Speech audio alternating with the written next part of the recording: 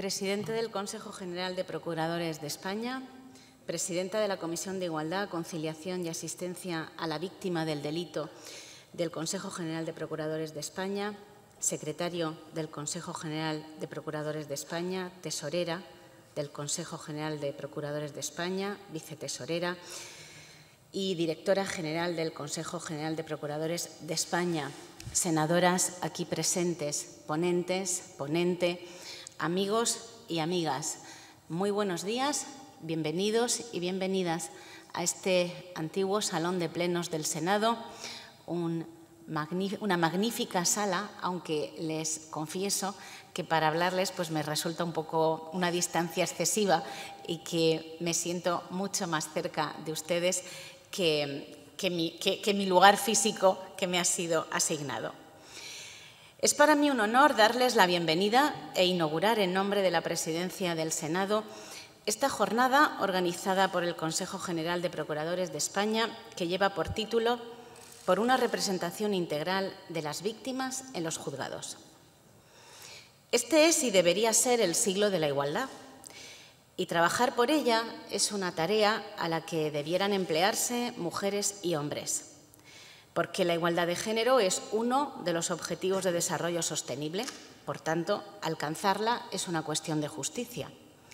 Pero también estamos ante una cuestión económica, porque son muchos los informes que nos dicen que contar con el talento de las mujeres mejora la productividad de las empresas y de los servicios.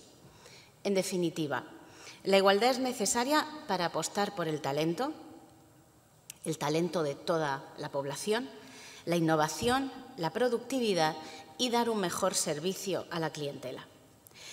Una de las vías para avanzar en igualdad y que todavía sigue siendo una asignatura pendiente es, por ejemplo, apostar de manera firme y decidida por la conciliación y la corresponsabilidad que afecta a todas las profesiones. La ausencia de facilidades para conciliar vida familiar, laboral y personal está en la base misma de la desigualdad y las desigualdades las perciben quienes las padecen. Así lo dicen las abogadas y otras profesionales del ámbito del derecho. La maternidad sigue siendo hoy un obstáculo para muchas mujeres, para muchas profesionales, y es un tema que debemos abordar desde un punto de vista legislativo, pero también sobre el que se ha de hacer mucha pedagogía en los diferentes ámbitos profesionales y en la calle. Es difícil compaginar la vida laboral, personal y familiar, y son muchas las mujeres que se sienten discriminadas encontrando techos de cristal o falta de reconocimiento social respecto de sus colegas masculinos. Es necesario corregir la desigualdad que existe en la carrera judicial, porque yo sigo leyendo que siete de cada diez nuevos ingresos en la carrera judicial son mujeres, pero solo el 38% asciende a tribunales superiores, según informes del Consejo General del Poder Judicial, o que actualmente solo dos mujeres presiden alguno de los 17 tribunales superiores de justicia que hay en España, o que hasta la llegada de María Luisa Segoviano a la Sala Cuarta ninguna mujer había presidido alguna de las cinco salas del Tribunal Supremo en sus 200 años de historia, o que todavía muchas decanas que llegan a colegios profesionales, en el caso de procuradores en Alicante, siga siendo la primera. Todavía somos muchas primeras mujeres que llegamos a alcanzar determinados puestos en la sociedad, con lo cual genera un menor prestigio profesional, una menor presencia y menor participación institucional de las mujeres. Porque para avanzar en igualdad es necesario el apoyo de las instituciones y los colegios profesionales. Los y las profesionales del derecho han de ser conscientes de la importancia de incluir el enfoque de género en sus actuaciones para utilizar el derecho como un mecanismo generador de igualdad y promotor de un cambio social que favorezca relaciones de equidad y no discriminación. Esta jornada tiene lugar hoy en el Senado un lugar emblemático porque fue en los grupos de trabajo establecidos en el Senado y en el Congreso donde tuvieron lugar las intensas negociaciones parlamentarias de las que salió un consenso sin fisuras que aprobó el Pacto de Estado contra la Violencia de Género en septiembre de 2017. La violencia de género es el rostro más cruel de una desigualdad estructural entre mujeres y hombres y del machismo sobre la que se sustenta. La violencia de género conlleva largos procesos de sufrimiento, más o menos visibles en el tiempo, como son vejaciones, violencia psicológica, violencia vicaria, que han requerido un tiempo para ser diagnosticadas y reconocidas por la sociedad y los profesionales. España está a la vanguardia de Europa en la lucha contra la violencia de género. Con la aprobación en 2004 de la Ley de Medidas de Protección Integral contra la Violencia de Género, establecimos una red de recursos para proteger a las víctimas e implicamos a todos los niveles de la Administración pública y de la justicia en la lucha contra la violencia machista. Esta norma creó un sistema integral de protección a las víctimas que se basa en tres pilares, la prevención, la protección y recuperación de la víctima y la persecución del delito. Recientemente se aprobó en el Senado la proposición de ley orgánica que mejora la protección de las personas huérfanas víctimas de violencia de género, que, entre otras medidas, elimina ciertas incertidumbres y obstáculos burocráticos a los que se enfrentan las familias, los y las huérfanas de víctimas por violencia de género, para acceder a ciertas ayudas.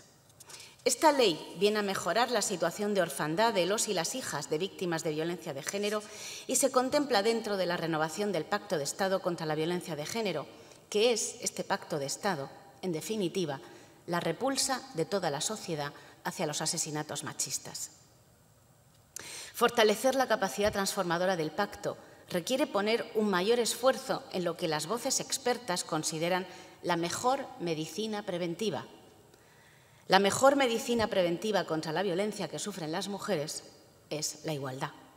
Es decir, poner el foco no solo en las, expresiones de la violencia, sino en el machismo y la desigualdad estructural que subyace en nuestra sociedad y que, aunque no lo hayamos vivido, subyace y tiene sus consecuencias negativas. Pero pese a los avances en materia legislativa, queda camino por hacer y piedras en el camino. Las mujeres siguen siendo acosadas, violadas y asesinadas. Los agresores y los asesinos no están locos ni sufren enajenación mental. Y lamentablemente las mujeres víctimas de violencia de género no denuncian a menudo por miedo, por desconfianza, para no separarse de sus hijos e hijas, porque es difícil eh, exponer en público una intimidad personal y porque, querámoslo o no, y tenemos que asumirlo, pesa sobre ellas el estigma social.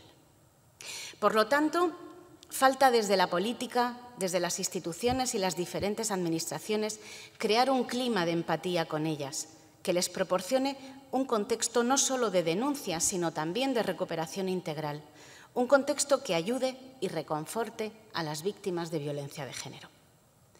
Como reza en el texto de presentación de la jornada de hoy, la víctima de violencia de género sabe que se enfrenta a un periplo judicial lleno de carencias y muy desigual, en el que los y las profesionales que la atenderán deben tener una formación específica en perspectiva de género. Porque por muchas voces reaccionarias que aparezcan afirmando que todas las violencias son iguales o que la violencia de género no existe y que debe contemplarse dentro del ámbito familiar, no es así. El consenso al que se llegó en España fue el resultado de muchos años de investigaciones desde el feminismo, desde diferentes profesionales, para definir un tipo de violencia, la de género, que se ejerce sobre las mujeres solo por el mero hecho de serlo. Negar la violencia de género pone en riesgo la seguridad, la libertad y la vida de las mujeres. En definitiva, atenta de manera intolerable contra nuestra democracia, que tiene su razón de ser en la igualdad. Quiero felicitar al Consejo General de Procuradores de España por la organización de esta jornada, que contempla la representación integral, personal y profesional para las víctimas de violencia de género desde el minuto cero hasta concluir el proceso judicial. También quiero agradecer a las ponentes y al ponente, así como la colaboración de la Asociación de Mujeres Juezas de España porque no basta con hacer leyes si no se tiene la complicidad y la colaboración de los y las profesionales del derecho. No podemos concebir ni tolerar que no haya semana sin una agresión o asesinato machista. El número de mujeres víctimas con protección policial se ha incrementado un 11% con respecto al año pasado, mientras que el número de casos activos en el sistema de seguimiento integral en los casos de violencia de género Biogen, que coordina el Ministerio del Interior, se ha incrementado un 4,6% respecto al mismo periodo de 2020. Sin contar que ya son más de 1.100 mujeres asesinadas en España desde que empezaron a contabilizarse los casos en 2003. Tenemos el deber ético y moral de construir una sociedad justa y la violencia de género no tiene justificación alguna. Esta Cámara guarda un minuto de silencio al comienzo de cada pleno, cada vez que se produce un asesinato machista. Y no ha habido pleno sin su minuto de silencio. ¿Se imaginan si cada semana asistiéramos a asesinatos por cualquier otro motivo? Erradicar la violencia contra las mujeres y ofrecerles asesoramiento jurídico es responsabilidad de cada uno de los actores institucionales, sociales, colectivos e, e individuales y requiere la implicación de toda la sociedad. Bienvenidas, bienvenidos al Senado de España y enhorabuena por la organización de esta jornada tan necesaria. Muchas gracias.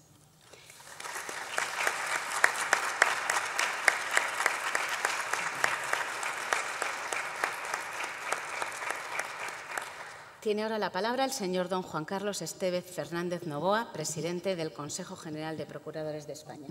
Cuando quiera, presidente. Muchas gracias, presidenta, presidenta de la Comisión de Igualdad del Senado de España. Muchas gracias por tu presencia y acogernos en esta querida casa. Las gracias tienen que ser dobles porque es la segunda vez que colaboras o asistes a un acto de la Procura por eso los procuradores somos agradecidos doblemente.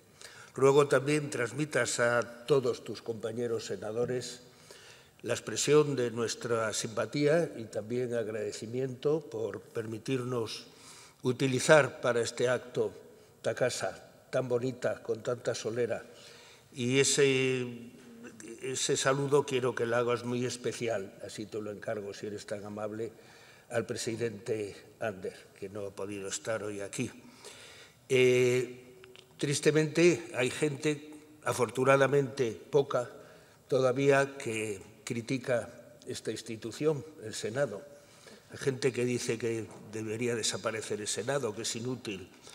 Pues seguramente deberían estar aquí en el día de hoy, pero no solo por este acto, sino estar aquí todos los días para que vean realmente cuáles son las funciones del Senado, las importantísimas funciones del Senado, y cómo colabora esta Casa en la paz social y en toda una serie de temas que no son puramente parlamentarios. Yo soy testigo de ello y por eso quiero dejar aquí claro mi reconocimiento a la labor de la institución, a la labor del Senado y a su exquisita e importantísima utilidad. Que nadie lo ponga en duda. Eh,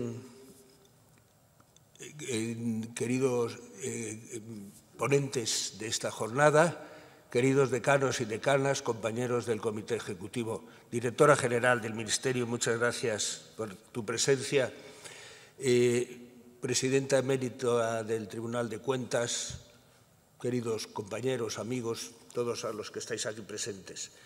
Ya hace más de 20 años, a comienzos de este siglo, los procuradores creamos un equipo de trabajo que igual que los cómicos o los pequeños cómicos que hacen representaciones teatrales por toda la geografía española, pues ese grupo de trabajo intervino en defensa del tema de la violencia. De aquella todavía no se había acuñado el término, estaba en sus albores el término de violencia de género. El que se utilizaba en aquel momento todavía, el término clásico, era el de violencia doméstica. Lo recuerdo perfectamente, aunque ya alguien empezaba a hablar de violencia de género, pero todavía no era el término común. Pues como decía, esta comisión, de la que tuve el honor de formar parte, recorrió España, estuvo en Barcelona, en Baleares, en Valencia, en Sevilla, en Canarias, en Málaga, no recuerdo, en Madrid, en muchos sitios, ya tratando exhaustivamente el tema de la violencia. Como decía, violencia doméstica, en definitiva, no difería en nada de lo que nos, ha traído aquí hoy. Por eso, con eso lo único que quiero decir es que los procuradores estamos preocupados e implicados en este tema hace ya más de 20 años. Recordar hace más de 20 años de esto no hablaba casi nadie. Era una cosa muy novedosa y nosotros ya estábamos allí. Hemos seguido haciéndolo a lo largo del tiempo y no hemos querido de bajar la intensidad. Y hoy creo que el, acto del día de hoy es una demostración más de todo ello. Siempre que se produce violencia hay una agresión. Hay una agresión a una persona, a una institución, a un país. Me estoy acordando de un tema de suma actualidad, la agresión sufrida por Ucrania de manos de Rusia. Y meditando esta mañana un poco sobre esta cuestión, pues sinceramente he encontrado bastantes puntos de interés y de contacto entre una situación en la que puede sufrir una víctima de un delito y sobre todo una de la víctima de un delito de violencia de género. Porque siempre hay una agresión y siempre hay alguien que agrede y siempre hay alguien que sufre esa agresión, que es la víctima, y ve limitados y perjudicados sus derechos y lastimado su cuerpo, su alma o sus intereses. Así ha ocurrido en Ucrania, así está ocurriendo en Ucrania. ¿Y quién puede liberarnos y salvarnos y arreglar todo esto? El mundo del derecho, el mundo de la justicia. En Ucrania, tristemente, va a ser difícil, al menos de momento, que los tribunales internacionales puedan llegar a juzgar al presidente Putin. Parece que de momento es difícil, pero cosas más difíciles se han hecho y a lo mejor algún día llega a ocurrir. Pero, de cualquier modo, en la conciencia de todas las personas de todo el mundo, Putin ya está juzgado y está condenado. Y las víctimas ucranianas pues pueden encontrar cierto consuelo en eso seguramente. Cierto es que para el auxilio de la justicia y del derecho a veces hay que utilizar el uso de la fuerza. Ocurre también a nivel individual. Para quienes aquellos no dan cumplimiento a las condenas o a las limitaciones que puede imponer un juez al causante, al agresor, a una víctima. Pero lo más importante, decía, es el mundo del derecho. Y el mundo del derecho no solo restablece la situación inicial, sino que también ha de establecer otro tipo de justicia, de justicia no solo eh, distributiva y restaurativa, sino también una justicia paliativa. Estamos haciéndolo y España es un magnífico ejemplo. Es uno de los países creo que mejor está haciendo el practicar la justicia paliativa recibiendo a las víctimas de la invasión de Ucrania y dándoles un trato preferencial, cariñoso y haciendo que se adapten y se sientan en España como si estuvieran en su propio país desde el primer momento. No vamos a arreglar su problema de la invasión de Ucrania, pero sí podemos paliar sus sufrimientos y eso estamos haciendo. Exactamente igual podemos hacer con las víctimas del delito. Aquella persona que haya, sea víctima de un delito, su sufrimiento y el hecho de que se haya producido la agresión no podemos evitarlo, pero sí podemos evitar que sus males vayan a más a través de una sentencia justa, pero podemos evitar desde el minuto uno su sufrimiento en gran medida y adoptar medidas paliativas. Creo que la reunión del día de hoy va bastante por esa línea de los cuidados paliativos. ¿Cómo podemos hacer que las víctimas del delito desde el minuto uno se sientan amparadas y se sientan representadas? No tengan que sufrir, además de lo que ya han sufrido, otro tipo de escarnios en una situación que está de debilidad, de sufrimiento, de tener que estar expuestas no solo a los actos de telediario o similar, sino a colas en los juzgados, a entrevistas en el mundo de los actos de comunicación.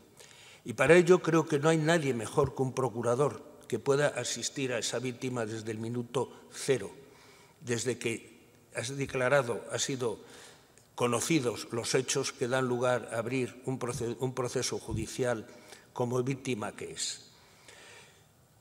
Los abogados, a los que reconocemos y admiramos su labor eh, hacen la labor fenomenal eh, de defender y de restaurar su derecho a esas víctimas, pero los procuradores sí podemos hacer una función social paliativa muy importante, auxiliando a la víctima desde el momento en que se siente desamparada, para que no tenga que acudir per se a todos esos actos, al juzgado, a recoger una citación. Es decir, infinidad de cosas que son las que hoy van a salir a la luz del día y que vamos a reivindicar. No quiero yo terminar sin agradecer a todas las personas que han colaborado en la realización de esta jornada, desde todos los ponentes, muchas gracias a todos vosotros, como aquellas personas que componen la Comisión de Igualdad del Consejo General de Procuradores y muy especialmente a Eva García, su presidenta, factotum en, en toda esta organización. No puedo olvidarme tampoco de la directora general del Consejo General de Procuradores, y a todos vosotros que venís aquí con la ilusión de hacer un mundo mejor, de resolver o paliar una situación difícil de ciertas personas, de aquellas que han sido o han resultado ser víctimas. A todos vosotros que venís con esa ilusión, nada más que puedo desearos que esa ilusión se materialice, se transforme en una realidad. Y estoy convencido, conociendo vuestras capacidades, que sois capaces de hacerlo.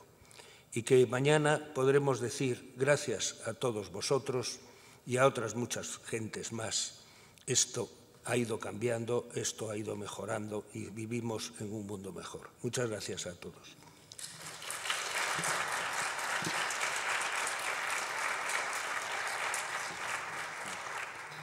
Pasamos pues al comienzo de la jornada.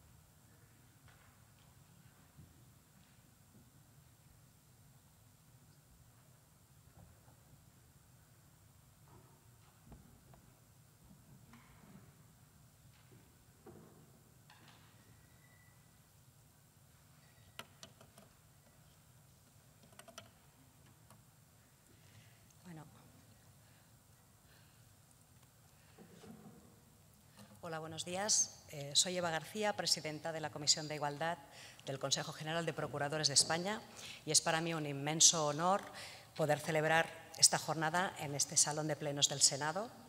Quisiera, en primer lugar, agradecer a su presidente, a la presidenta de la Comisión de Igualdad y a todos los que hoy nos acompañan el que nos hayan acogido en esta alta Cámara. Gracias a todos los que nos acompañáis presencialmente y también a los, los, que nos están viendo a través de streaming. La razón de que, quiera llamar, de que queramos llamar la atención de todos ustedes en este acto se encuentra en un artículo, sobre todo, el artículo 32 de la Ley 4-2015 de 27 de abril del Estatuto de la Víctima del Delito, que literalmente nos dice los poderes públicos deben fomentar la cooperación con los colectivos profesionales especializados en el trato, atención y protección a las víctimas, fomentando a tal efecto la participación de estos colectivos en los sistemas de evaluación del funcionamiento de las normas, medidas y demás instrumentos que se adopten para la protección y asistencia a las víctimas.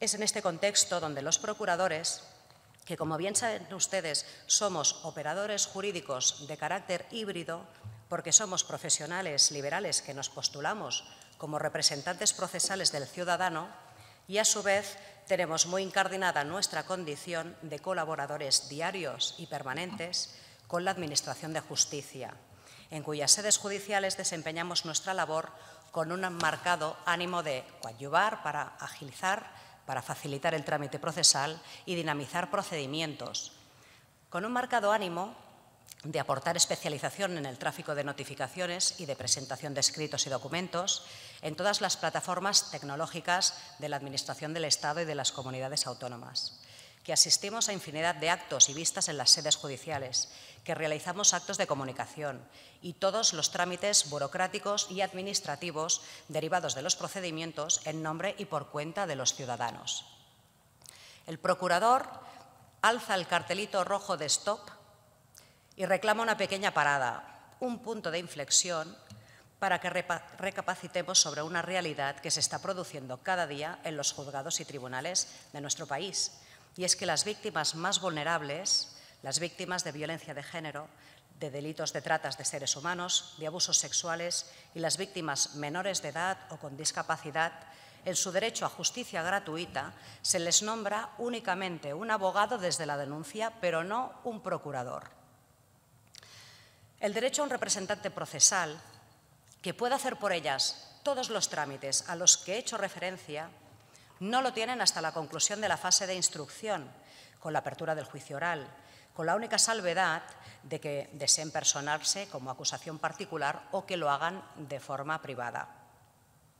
Y ello es un agravio comparativo con otras jurisdicciones, como por ejemplo la civil, porque mientras en la civil el carácter de los derechos que se ventilan inciden directamente en la, esfera, privada y la representación por un procurador es preceptiva en la mayoría de los procedimientos, ofreciendo al ciudadano agilidad, eficacia, garantía, confianza. En la jurisdicción penal se protegen derechos fundamentales y el interés trasciende de lo privado para convertirse en una responsabilidad de todos, principalmente de los poderes públicos, que deben garantizar a los ciudadanos el cumplimiento de derechos y principios esenciales proclamados en nuestra Constitución, como el de tutela judicial efectiva y como el de seguridad jurídica. Si ello lo enfatizamos con el carácter especialmente vulnerable de una víctima de violencia de género, de un menor o de una persona con discapacidad y analizamos el panorama de planta judicial de nuestro país, con mayoría de juzgados de jurisdicción mixta, civil y penal, en partidos judiciales en los que no hay juzgados especializados en violencia de género, con un exceso de dependencia y escasez de recursos materiales y humanos, junto con el proceso de transformación digital de la Administración de Justicia, que ya es compleja para el profesional, dotado de herramientas tecnológicas y adaptado a las distintas plataformas telemáticas de las comunidades autónomas, creemos honestamente que ampliar el derecho a la asistencia jurídica gratuita de las víctimas a través de un procurador o procuradora que la acompañe, la asista y proteja desde el inicio del proceso hasta su finalización, en acompañamiento a su abogado defensor se vuelve, cuando menos, muy recomendable. Cualquier ayuda que podamos aportar entre todos es poca para paliar el efecto de revictimización que sufren estas víctimas, cuando deben sumar a su larga, a su lacerante carga, el coraje de tener que afrontar un proceso penal. La estadística nos debe dar que pensar cuando los medios comunican la tragedia de una nueva víctima. ¿Estás bien? Eh, cuando eh, la estadística nos debe dar que pensar cuando los medios comunican la tragedia de una nueva víctima y escuchamos que no había denunciado. Y es que han de ser situaciones de mucha desestructura interna, que lo menos que podemos hacer es tratar de ponérselo fácil, reforzar su protección, doblando sus garantías procesales mediante defensa letrada y, a su vez, representación por un procurador o procuradora. En definitiva, cuidar a la víctima del delito, facilitándole el acceso al proceso penal siendo su guía, acompañándola en las sedes judiciales, evitándole trámites, idas y venidas innecesarias o largas esperas en los juzgados para aportar un documento o para recibir una notificación, teniendo que exponer por enésima vez su relato íntimo y personal a personas ajenas. Esta fotografía creo que muchos la tenemos en la retina. Y a esos derechos mínimos que ayudan a salvaguardar la dignidad de la persona, añadiríamos otro catálogo que contempla el estatuto de la víctima, como el de entender, el de ser entendida, el de recibir información sobre la causa penal, el de participar de forma activa en su proceso y en la ejecución, representada por un profesional capacitado para impulsar las ejecuciones, consiguiendo así incrementar con ello las probabilidades de repararla económicamente. El de asegurar a la víctima la recepción de cuantas resoluciones indispensables se dictan en el procedimiento necesarias para su seguridad e integridad personal relativas a medidas cautelares acordadas frente a su agresor, etc. La realidad es que la víctima estaría localizada permanentemente a través de su procurador o procuradora, evitándose comunicaciones postales a través de servicios comunes o de la propia policía, con el ahorro en recursos y en tiempo para los estrictos plazos de la instrucción penal. En definitiva, el procurador estaría al lado de la víctima y también de la Administración de Justicia. Para concluir, las reformas legislativas tan ambiciosas por las que trabaja el Gobierno, sobre todo las leyes de eficiencia procesal, organizativa y digital y la reforma del ALECRIM, deben extremar su protección, empatía y sensibilidad hacia los colectivos más vulnerables, porque no debe perderse la perspectiva de una realidad que se encamina sin tregua hacia la especialización y la tecnología, pudiendo excluir irremediablemente a la víctima del sistema. Doble garantía, defensa letrada para las víctimas, pero también de forma simultánea representación profesionalizada e integral por un procurador. Cambien cosas, orienten la legislación hacia ese fin, que un barco está siempre seguro en la orilla, pero ese no es el propósito para el que se construye, como dijo sabiamente Albert Einstein. Bien, vamos a comenzar con la mesa redonda y voy a presentar a los ponentes, a los que agradecemos su interés y participación, no sin antes hablarles de la Asociación de Mujeres Juezas de España, AMGE, que ha colaborado estrechamente con el Consejo General de Procuradores para la organización de esta jornada. AMGE fundamentalmente es una asociación feminista compuesta por mujeres y hombres que dan lo mejor de sí para que cambien las cosas. La defensa de la igualdad es su estandarte. Su objetivo es detectar situaciones de desigualdad en la sociedad y repararlas reclamando políticas de Estado que garanticen como modelo de sociedad una protección sin fisuras de mujeres, de menores y de cualquier persona ante situaciones de desigualdad. Esta asociación transversal de juezas y también de graduadas sociales, policías, forenses, profesoras, psicólogas, abogadas, procuradoras, unen su experiencia, sus conocimientos jurídicos y forenses al servicio de este loable objetivo. Quisiera felicitar muy efusivamente en nombre del Consejo General de Procuradores a AMGE, que recientemente ha sido galardonada con el premio del Observatorio contra la Violencia de Género del Consejo General del Poder Judicial. Hemos querido traer a este foro a una magnífica y brillante representación de la asociación para que nos ayude a analizar, junto con el catedrático en Derecho Procesal Nicolás González Cuellar, la realidad de las víctimas de violencia de género y otras víctimas especialmente vulnerables a la hora de enfrentarse al proceso penal. Para ello, daremos un turno a cada ponente para hacernos una composición integral de la problemática y reservarnos un tiempo al final para abrir un turno de preguntas o enriquecer el debate con intervenciones entre los ponentes a los que os aseguro que no nos vamos a cansar de escuchar. Me complace presentaros a Cita Hernández Larrañaga. Cita.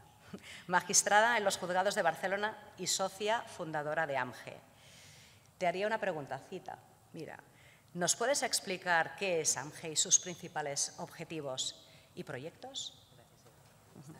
¿Se escucha? Sí, perfecto. Gracias, Eva. Y, bueno, de todo, gracias desde la Asociación de Mujeres Juezas al Consejo General de Procuradores de España y al Senado por habernos eh, invitado y haber organizado esta jornada, porque efectivamente colaborar en estos foros y estar presentes en estos foros pues es parte de la esencia de la Asociación de Mujeres Juezas, que era, pues eh, ahora lo diré, cuando nos creamos en el año 2015, noviembre del 2015, un proyecto de 12 juezas, en aquel momento éramos 12 juezas, eh, de, de diferentes jurisdicciones, penal, civil, violencia de género, social, que vimos la necesitamos dar respuesta a dos necesidades. La primera de ellas era formar parte de una asociación internacional, como es la Asociación Internacional de Mujeres Juezas, eh, que pues, eh, ya conocían ustedes también y que realiza un amplísimo trabajo a lo largo del mundo eh, para la defensa de la igualdad y del acceso a la justicia en condiciones de igualdad. Y sobre todo también realiza una defensa importante de la situación de las mujeres juezas en todos los países del mundo, porque por desgracia no todas las situaciones son como las que tenemos en nuestro país, sino que en otros países son verdaderamente complicadas y el que una mujer llegue a ser jueza pues supone un avance increíble en la igualdad y la Asociación de Mujeres, eh, Mujeres Juezas Internacional realizan un amplísimo trabajo y vimos la necesidad de que las juezas españolas teníamos que formar parte de esa asociación internacional y para ello necesitábamos primero constituirnos como mujeres juezas en España. Eh, esta primera eh, inquietud venía complementada por la segunda inquietud, que era luchar por una justicia igualitaria y por poner todo nuestro trabajo y nuestras ideas y nuestro esfuerzo en eh, desarrollar eh, una imagen eh, de la justicia diferente a la que tal vez ¿no? se pueda tener o a la que tal vez se distribuye, dando a conocer pues, que se trabaja muchísimo dentro de la justicia por todos los colectivos que trabajan en la justicia, procuradores, abogados, especialistas, en obtener la igualdad y en garantizar un trato integral y adecuado a las víctimas. Claro que se pueden mejorar muchísimas cosas y deben mejorarse, pero queríamos también poner nuestro granito de arena en este trabajo fundamental, porque efectivamente si no tratamos bien a las víctimas, si las víctimas no son bien tratadas, estaremos fallando, pero no solamente en el trato, sino en un acceso igualitario a la justicia. Eh, ese proyecto del año 2015 hoy en día ya está una realidad. Además, una realidad que también este es otro de los temas que nos sorprendió cuando nos creamos como Asociación de Mujeres Juezas. Hoy en día ya somos 148 socios y socias, porque es una asociación en la que forman parte hombres y mujeres. Es verdad que el mayor número son mujeres, pero pueden formar parte hombres de cualquier jueces, eh, que sean jueces, magistrados o de cualquier otras profesiones, y tenemos eh, compañeros que son miembros. Lo que también nos sorprendió hoy en día, como digo, 148 miembros, 71 de ellos somos jueces y juezas, y el resto, como bien ha dicho Eva, pues es un complemento amplísimo de todas las profesiones que tienen y que actúan en el ámbito de la justicia y en el ámbito de la creación del derecho, porque también la creación del derecho, cómo no, moldea a la justicia. Eh, procuradores, procuradoras, abogadas, eh, trabajadoras sociales, psicólogas, catedráticas, profesoras de universidad. Y esto nos sorprendió y nos llamó muchísimo la atención porque nada más crearnos vimos una grandísima necesidad de todos los colectivos de escuchar nuestra voz, cosa que nos sorprendió muchísimo porque siempre pensábamos ¿no? que, bueno, ya existen las asociaciones judiciales, ya existe el Consejo, ¿no? pero nos dimos cuenta que no había un cauce, no había un cauce de, o al menos nos sorprendió muchísimo, nos llamó muchísimo la atención que recibíamos muchísimas peticiones desde estos colectivos, el colectivo de, abogacía, el colectivo de la procura, asociaciones, eh, partidos políticos, em, entidades públicas que querían que, que participáramos actividades, porque verdaderamente nos decían que era la primera ocasión, o de las primeras ocasiones que habían podido hablar de tú a tú, o de exponer de tú a tú ¿no? unos problemas que todos vemos y que todos vivimos eh, en el día a día de la justicia y, por extensión en el día a día de nuestro mundo. ¿no? Y esto nos sorprendió de verdad de una, una manera importante y nos animó muchísimo en esta creación, que al principio pues, no sabíamos muy bien ¿no? cómo íbamos a ser recibidas, cómo nos íbamos a desarrollar, y la verdad que fue una respuesta pues, que nos ilusionó y que es la que nos da las fuerzas cada día de seguir eh, creciendo y de seguir participando y de seguir aportando nuestro granito de arena, porque vemos que sin esta actuación integral, sin este conocimiento integral y, sin este entendimiento integral entre todos los que formamos parte de este engranaje, difícilmente se puede avanzar, eh, difícilmente eh, podemos mejorar, difícilmente se pueden tomar medidas eficaces y efectivas porque si no nos conocemos entre nosotros, si no conocemos el trabajo que cada uno desarrolla, difícilmente podremos cada uno desde puntos distintos dar unas medidas que sean integrales y adopten. Ya desde que nos creamos en el año 2015, nuestra primera actuación que se conoció como eh, los 12 pasos de justicia hacia la igualdad, ya hacíamos referencia en dos de ellos eh, a la necesidad de desarrollar de una manera efectiva el Estatuto de la Víctima, porque efectivamente es una herramienta súper eficaz, pero que necesita, sin duda, necesita de una grandísima extensión de medios personales, materiales, de una respuesta multidisciplinar e integral. Y además desde el inicio del procedimiento.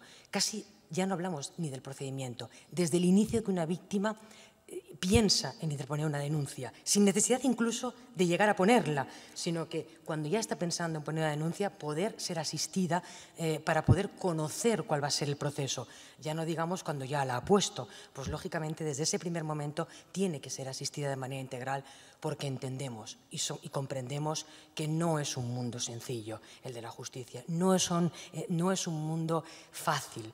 Eh, los edificios judiciales no son fáciles, no son lugares, mm, no son hoteles de cinco estrellas, es verdad, es así. Eh, nos sentimos perdidos. Yo, hasta yo, que llego al día al juzgado y digo, escalera para arriba, escalera para abajo, ascensor para arriba, ascensor para abajo, y trabajo allí cada día. estos elementos que pueden parecer niños o que pueden parecer secundarios afectan de una manera grave a la necesidad, a la tranquilidad y al espíritu de las víctimas. Y son, en ocasiones, mecanismos que sin una gran inversión de medios, que sin tener que hacer un gran cambio, podrían mejorarse muchísimo como por ejemplo con la medida que nos trae hoy aquí, que no es que exija unos cambios radicales, no es que exija que haya que cambiar el sistema procesal español, sino que lo que exige es dedicar un poquito más de medios para que los que ya están realizando esa labor la puedan realizar desde el primer momento. Eh, pues como decíamos, este fue uno de los primeros puntos, la necesidad de que se desarrollara el Estatuto de la Víctima en todos sus extremos. Otro punto, por desgracia, era eh, ser conscientes del impacto de las situaciones de guerra en mujeres y niños qué situación ¿verdad? que nos íbamos a plantear en el año 2015, que en pocos años nos íbamos a encontrar con la situación tan tremenda de Afganistán y lo que ha supuesto para todo ciudadano de Afganistán, pero muy especialmente para las mujeres y las mujeres juezas eh, que han tenido que huir de Afganistán porque su vida corría peligro, o bien la situación de Ucrania hoy en día, en el que estamos viendo pues no solo la situación de, violencia, sino la situación en la que se encuentran las mujeres, alguna de ellas incluso situaciones de una vulnerabilidad tremenda. Eh, pues ya Ángel desde el primer momento defendió la necesidad de llevar a cabo medidas medidas que hemos ido repitiendo en todas las propuestas que hemos realizado en el año 2016, en el 2017, durante la pandemia, y eh, propuestas que no se han quedado solo en propuestas, sino que hemos luchado porque también como nos traigo aquí, eh, estas propuestas tienen que tener un encaje, y este es el encaje legislativo. Al final, las propuestas para que salgan adelante, para que tengan un efecto y para que se puedan destinar medios, tienen que incluirse en la legislación, sea legislación autonómica, sea legislación estatal, o bien sea un reglamento, o bien sea una ley. Eh, en ese sentido, ANGE, y les puedo asegurar que nosotros, las personas que somos de ANGE, somos juezas, como hemos dicho, de muchas profesiones, no nos dedicamos en exclusiva a ANGE, no somos técnicas, expertas, eh, cada una lo somos en lo nuestro, poquito, eh, porque no se puede ser en el derecho, nunca se es experta, ¿no? porque es en continua evolución. En lo poquito cada una hemos aportado y hemos trabajado en todas y cada uno de los grandes proyectos que se han realizado en los últimos años relativos a la protección de las víctimas. Entre ellos, y los más fundamentales, el proyecto de, protección integral de la infancia y de la adolescencia, que como todos saben, hoy en día es ley, ¿eh? la Ley Orgánica 8-2021 de 4 de junio, una ley que ha llevado a cabo una modificación sustancial en muchísimas cuestiones relacionadas con el tratamiento de las víctimas, en las que Ángel estuvo, hizo el proyecto. Es más, en algunas cuestiones propusimos mucho más de lo que se nos otorgó, sobre todo en el tratamiento de las víctimas, en la prueba preconstituida. Nosotros solicitamos que la prueba preconstituida no solo se estableciera de manera obligatoria para menores de 14 años o personas con situación de discapacidad o de, situación de, sino que lo propusimos incluso para personas mayores de edad que se encontraran en situación de vulnerabilidad, porque allí podíamos incluir a víctimas de violencia de género, a víctimas de trata de seres humanos, a víctimas de prostitución. no lo conseguimos, pero ahí estamos, eh, no nos vamos a rendir. Eh, seguramente habrá otras ocasiones y con el tiempo yo creo que cuando se vea cómo la prueba constituida, que hoy en día se ha convertido en obligatoria con menores de 14 años y con personas mayores en situación de discapacidad, cuando se vea los efectos positivos que va a traer y que ya está trayendo en el día a día, estoy segura que se conseguirá ampliar dicha protección. Eh, estamos en el proyecto de Ley Orgánica de Garantía Integral contra la Libertad Sexual.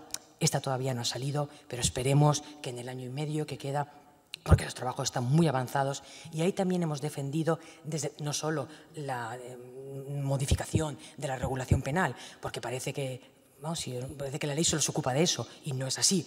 Esta ley eh, pretende ocuparse de muchos otros aspectos, que no es solo la regulación del Código Penal, que parece que al final es lo único que importa. Y es lo que menos debería importarnos, porque al fin y al cabo esa es la ley, ahí está, pero lo que nos importa es cómo se desarrolla esa ley, cómo se aplica, cómo se aplica después, cómo se interpreta y cómo evitamos situaciones de desigualdad. Pero en esa ley también se ha luchado desde ANGE para que a las víctimas de violencia sexual, desde el minuto cero, se les otorgue una protección integral con la creación de eh, unidades integrales de protección, en las que pues, eh, tengan presentes desde eh, expertos en medicina, psicólogos, trabajadores sociales, para que la víctima de violencia sexual se sienta protegida desde el minuto uno, dado que en este caso sí que las estadísticas son abrumadoras y de verdad son de auténtico planteamiento de la bajísima nivel de denuncias que se producen cuando todos somos conscientes de que se producen muchos más hechos de los que se denuncian.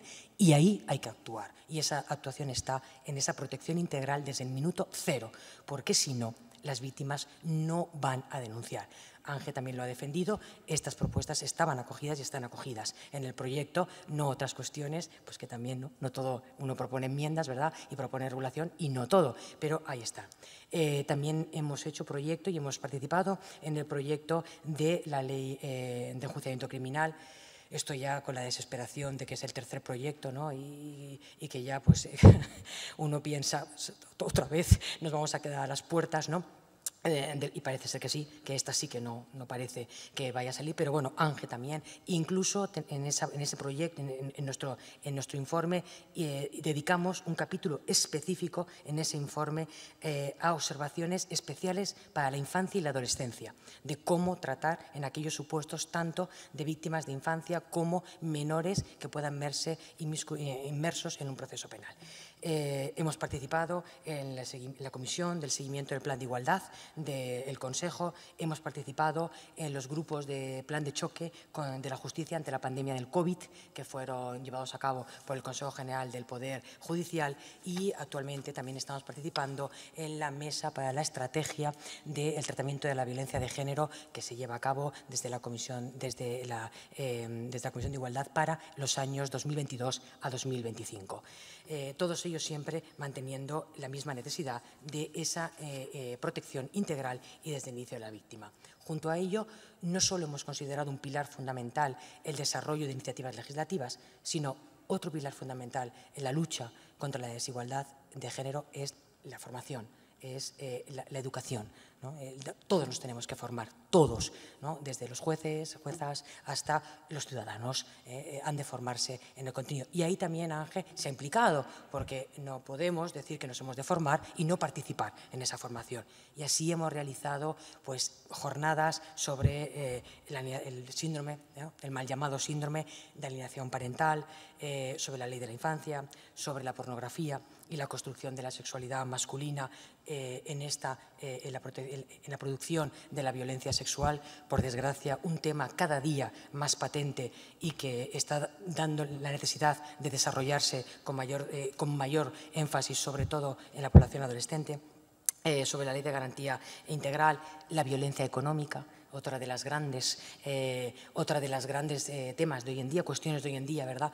Porque a medida que vamos desarrollando los conceptos de igualdad, si hace 20 años, como decía el presidente, empezamos a hablar de la violencia física y la violencia psicológica, porque no se hablaba, hoy en día que ya por fin ¿no? parece que ya eh, somos conscientes de la existencia de la violencia física y la violencia psicológica como, como, violencia de género, tenemos que avanzar, porque no solo están estas violencias, está la sexual, está la económica, está la vicaria, y ahí estamos siempre desarrollando estos nuevos conceptos, no quedándonos en lo que ya tenemos, sino siempre desarrollando los conceptos. Eh, también la última actuación que nosotros realizamos fue la situación de las mujeres saharauis, porque desde ANGE también nos damos cuenta de que el mundo no es el nuestro solo. No podemos siempre desarrollar nuestros eh, trabajos o nuestras iniciativas desde la visión de nuestro mundo, sino que tenemos que mirar a los mundos que nos rodean, donde efectivamente la situación de la mujer es muy complicada y en ese sentido tenemos cercano la situación de las mujeres saharauis. Y también hacer mención a nuestro fabuloso eh, programa de Educando en Justicia Igualitaria, que además aquí hay que hacer una mención especial porque compañeras procuradoras son grandísimas eh, adalides de este programa que han hecho un trabajo fundamental en la localidad de Móstoles, eh, que además ha premiado a, la Asociación de Mujeres Juezas por este programa y además por la protección de las mujeres afganas y que de verdad están haciendo, es un programa eh, Educando en Justicia Igualitaria que se desarrolla con alumnos de institutos a los que acuden a los juzgados a conocer el día a día de la actuación de los juzgados y las actuaciones necesarias para que, como antes eh, especificaba y se decía, la justicia sea un motor de cambio, la justicia evite el perpetuar situaciones de desigualdad. Proyecto pionero que se inició en Las Palmas, en, Canarias, y que a día de hoy, como digo, desarrollamos en Móstoles, desarrollamos en Extremadura, desarrollamos en algún otro sitio, eh, en, en Canarias, y en Valencia. ¿eh? y esperemos pues, que en el futuro se pueda seguir desarrollando en otros lugares. Tenemos también un convenio firmado con la Universidad Complutense de Madrid, Mundo Universitario, porque también esta, este, esta vinculación, esta simbiosis con el mundo universitario, con el mundo de la creación del derecho, con el mundo de la doctrina, nos da argumentos ¿no? más allá de nuestra experiencia práctica, ¿eh? como cada una en su eh, ámbito. Eh, participamos asimismo eh, en la creación, en reuniones con otras eh, asociaciones, con otras sociedades, con otros miembros de la sociedad civil, como pueden ser ONGs, todo tipo de ONGs, con, con entidades públicas, siempre que, es más, somos pocas en ese sentido, pero intentamos llegar a todos los sitios donde nos invitan o donde eh, requieren nuestra presencia, porque siempre consideramos la necesidad de establecer este diálogo con la sociedad, de establecer un diálogo directo con la sociedad y las necesidades, el ADN de Ángel, eh, el, no, eh, el, no, ser únicamente un papel, sino en, mostrarnos cara a cara y hablar de estos temas. Y como actuaciones de los últimos, del último año, pues por desgracia, ojalá nunca hubiéramos tenido que dedicarnos a ello, la colaboración en el rescate de mujeres afganas, eh, en colaboración directa con la Asociación Internacional de Mujeres Juezas, se han conseguido que creo que a día de hoy seis juezas afganas ya estén en España eh, y aquí están recibiendo, y aquí de nuevo también a nuestras compañeras procuradoras de Madrid, que están haciendo, socias de nuestra asociación, que están haciendo un grandísimo trabajo, pues están asistiendo, ayudando, acompañando a estas mujeres eh, juezas y a sus familias, que bueno, yo creo que es una situación inimaginable, ¿no? Alguien que tenga que salir de su casa y, bueno, eh, ¿qué vamos a decir? Creo que todo el mundo lo entiende. Y desde Ángel pues estamos haciendo esta colaboración, esta ayuda de poderles eh, asistir y estar con ellas en estos momentos. En el proyecto Ecobio, realizado por la Unión Europea, para el estudio de la violencia económica, eh, todas las campañas de sensibilización que realizamos pues, el 10 de marzo, el Día Internacional de la Mujer Jueza, desde el año pasado, declarado por la ONU, en el Día eh, Internacional de la Mujer, hace, que fue hace poquito, en todos ellos nosotras volvemos a insistir con nuestros comunicados y con nuestras acciones en la necesidad, en la necesidad de atender siempre a las víctimas en el contexto en el que se hallen. Bien, una víctima que acude un día al juzgado o bien una víctima de una guerra. Eh, en cuanto a las sinergias asociativas, pues como decía, hemos participado con la Asociación de las Kellys, que también pues, en los últimos, eh, gracias a Dios, han visto hace poco por reconocidos sus derechos a nivel del Tribunal de Justicia de la Unión Europea, con mujeres juristas, mujeres tejedoras, abogadas por la igualdad, las plataformas feministas 7N, con la plataforma Temis, vamos, que eh, participamos con todas aquellas entidades pues, que, igual que nosotras, luchan por cada día por hacer eh, de la justicia un lugar más cercano y por conseguir que el acceso de las mujeres, de los niños y de las niñas a la justicia se realice en condiciones de una igualdad efectiva, eh, no solamente una igualdad formal. Esto nos ha traído hoy aquí una de las medidas que se proponen, además una medida pues, que con toda lógica, puesto que todos aquellos que trabajamos en los juzgados conocemos el papel de la procura conocemos el ejercicio de la procura. Eh, no solo lo conocemos porque lo vemos cada día, sino porque además tenemos socias que forman parte de nuestra relación y nos cuentan, y nos cuentan de, manera directa lo que no vemos, porque nosotras, las juezas, no vemos a las víctimas cuando salen de nuestro despacho, no las vemos cuando entran en el juzgado. A nosotras nos aparecen sentadas en la mesa, pero no vemos lo que pasa ni antes ni después. y nos lo cuentan y nos cuentan la necesidad de esas víctimas, pues de dónde tengo que ir, quién me tiene que recoger, con quién tengo que hablar, eh, quién me va a dar la fotocopia, a quién tengo que pedir eh, un día.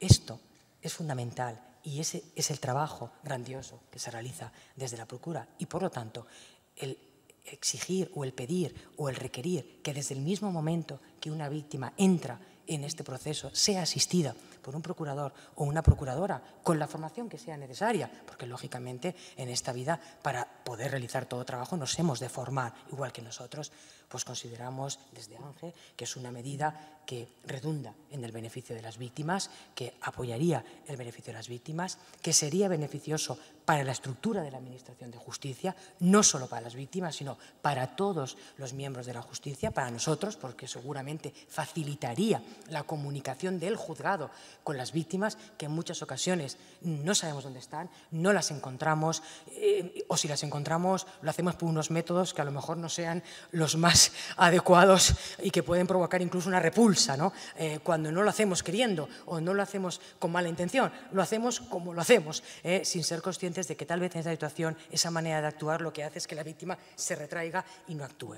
Por eso, pues desde ANGE estamos aquí presentes apoyando a esta medida que esperemos sea acogida por la legislación y podamos contar, igual que ya contamos hoy en día, que también fue una lucha, ¿verdad?, con la asistencia de letrado y letrada desde el mismo momento, que esto tampoco era así, y hoy en día, por lo menos en Cataluña, así es, y ha, supuesto un beneficio brutal y ha supuesto un cambio brutal de las circunstancias, pues esperemos que, igual que aquella lucha se consiguió y fue efectiva, esta también pueda llegar a tener efecto. Muchas gracias.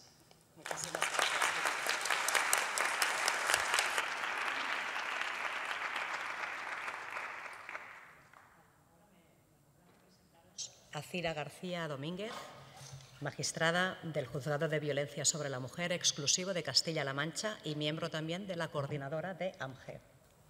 Cira, en tu dilatada experiencia como magistrada en un juzgado de violencia sobre la mujer, ¿compartes la idea de la necesidad de reforzar esas garantías de la víctima en el proceso penal o, por el contrario, sería algo fútil o prescindible cuando, dando por bueno el proceso tal como está?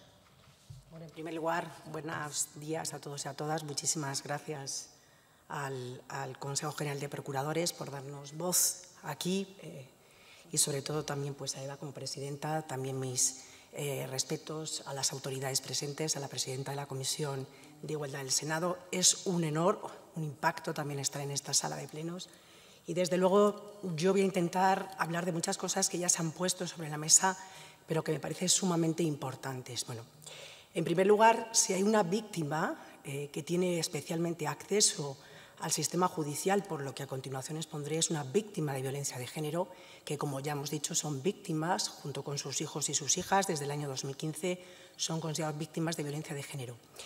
Por tanto, ese mayor contacto con la Administración de Justicia supone en muchas ocasiones un mayor impacto y a veces un impacto de carácter negativo.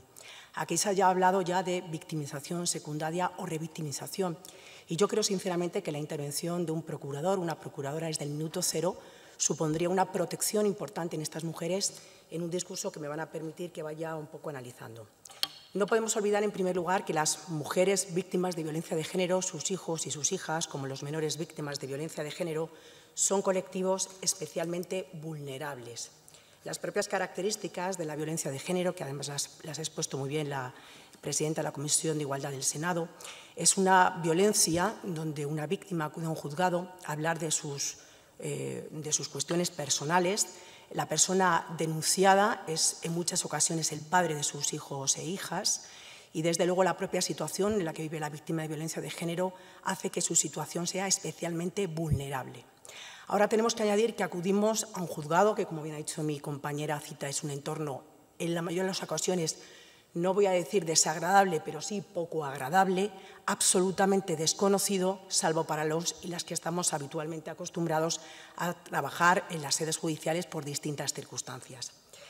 Yo creo que las dificultades que tienen estas mujeres en el acceso al sistema judicial es un freno absoluto a que esas denuncias por violencia de género continúen hasta el final, no solamente en fase de instrucción, sino también en fase de enjuiciamiento, precisamente por el impacto y el trato que reciben de la Administración de Justicia.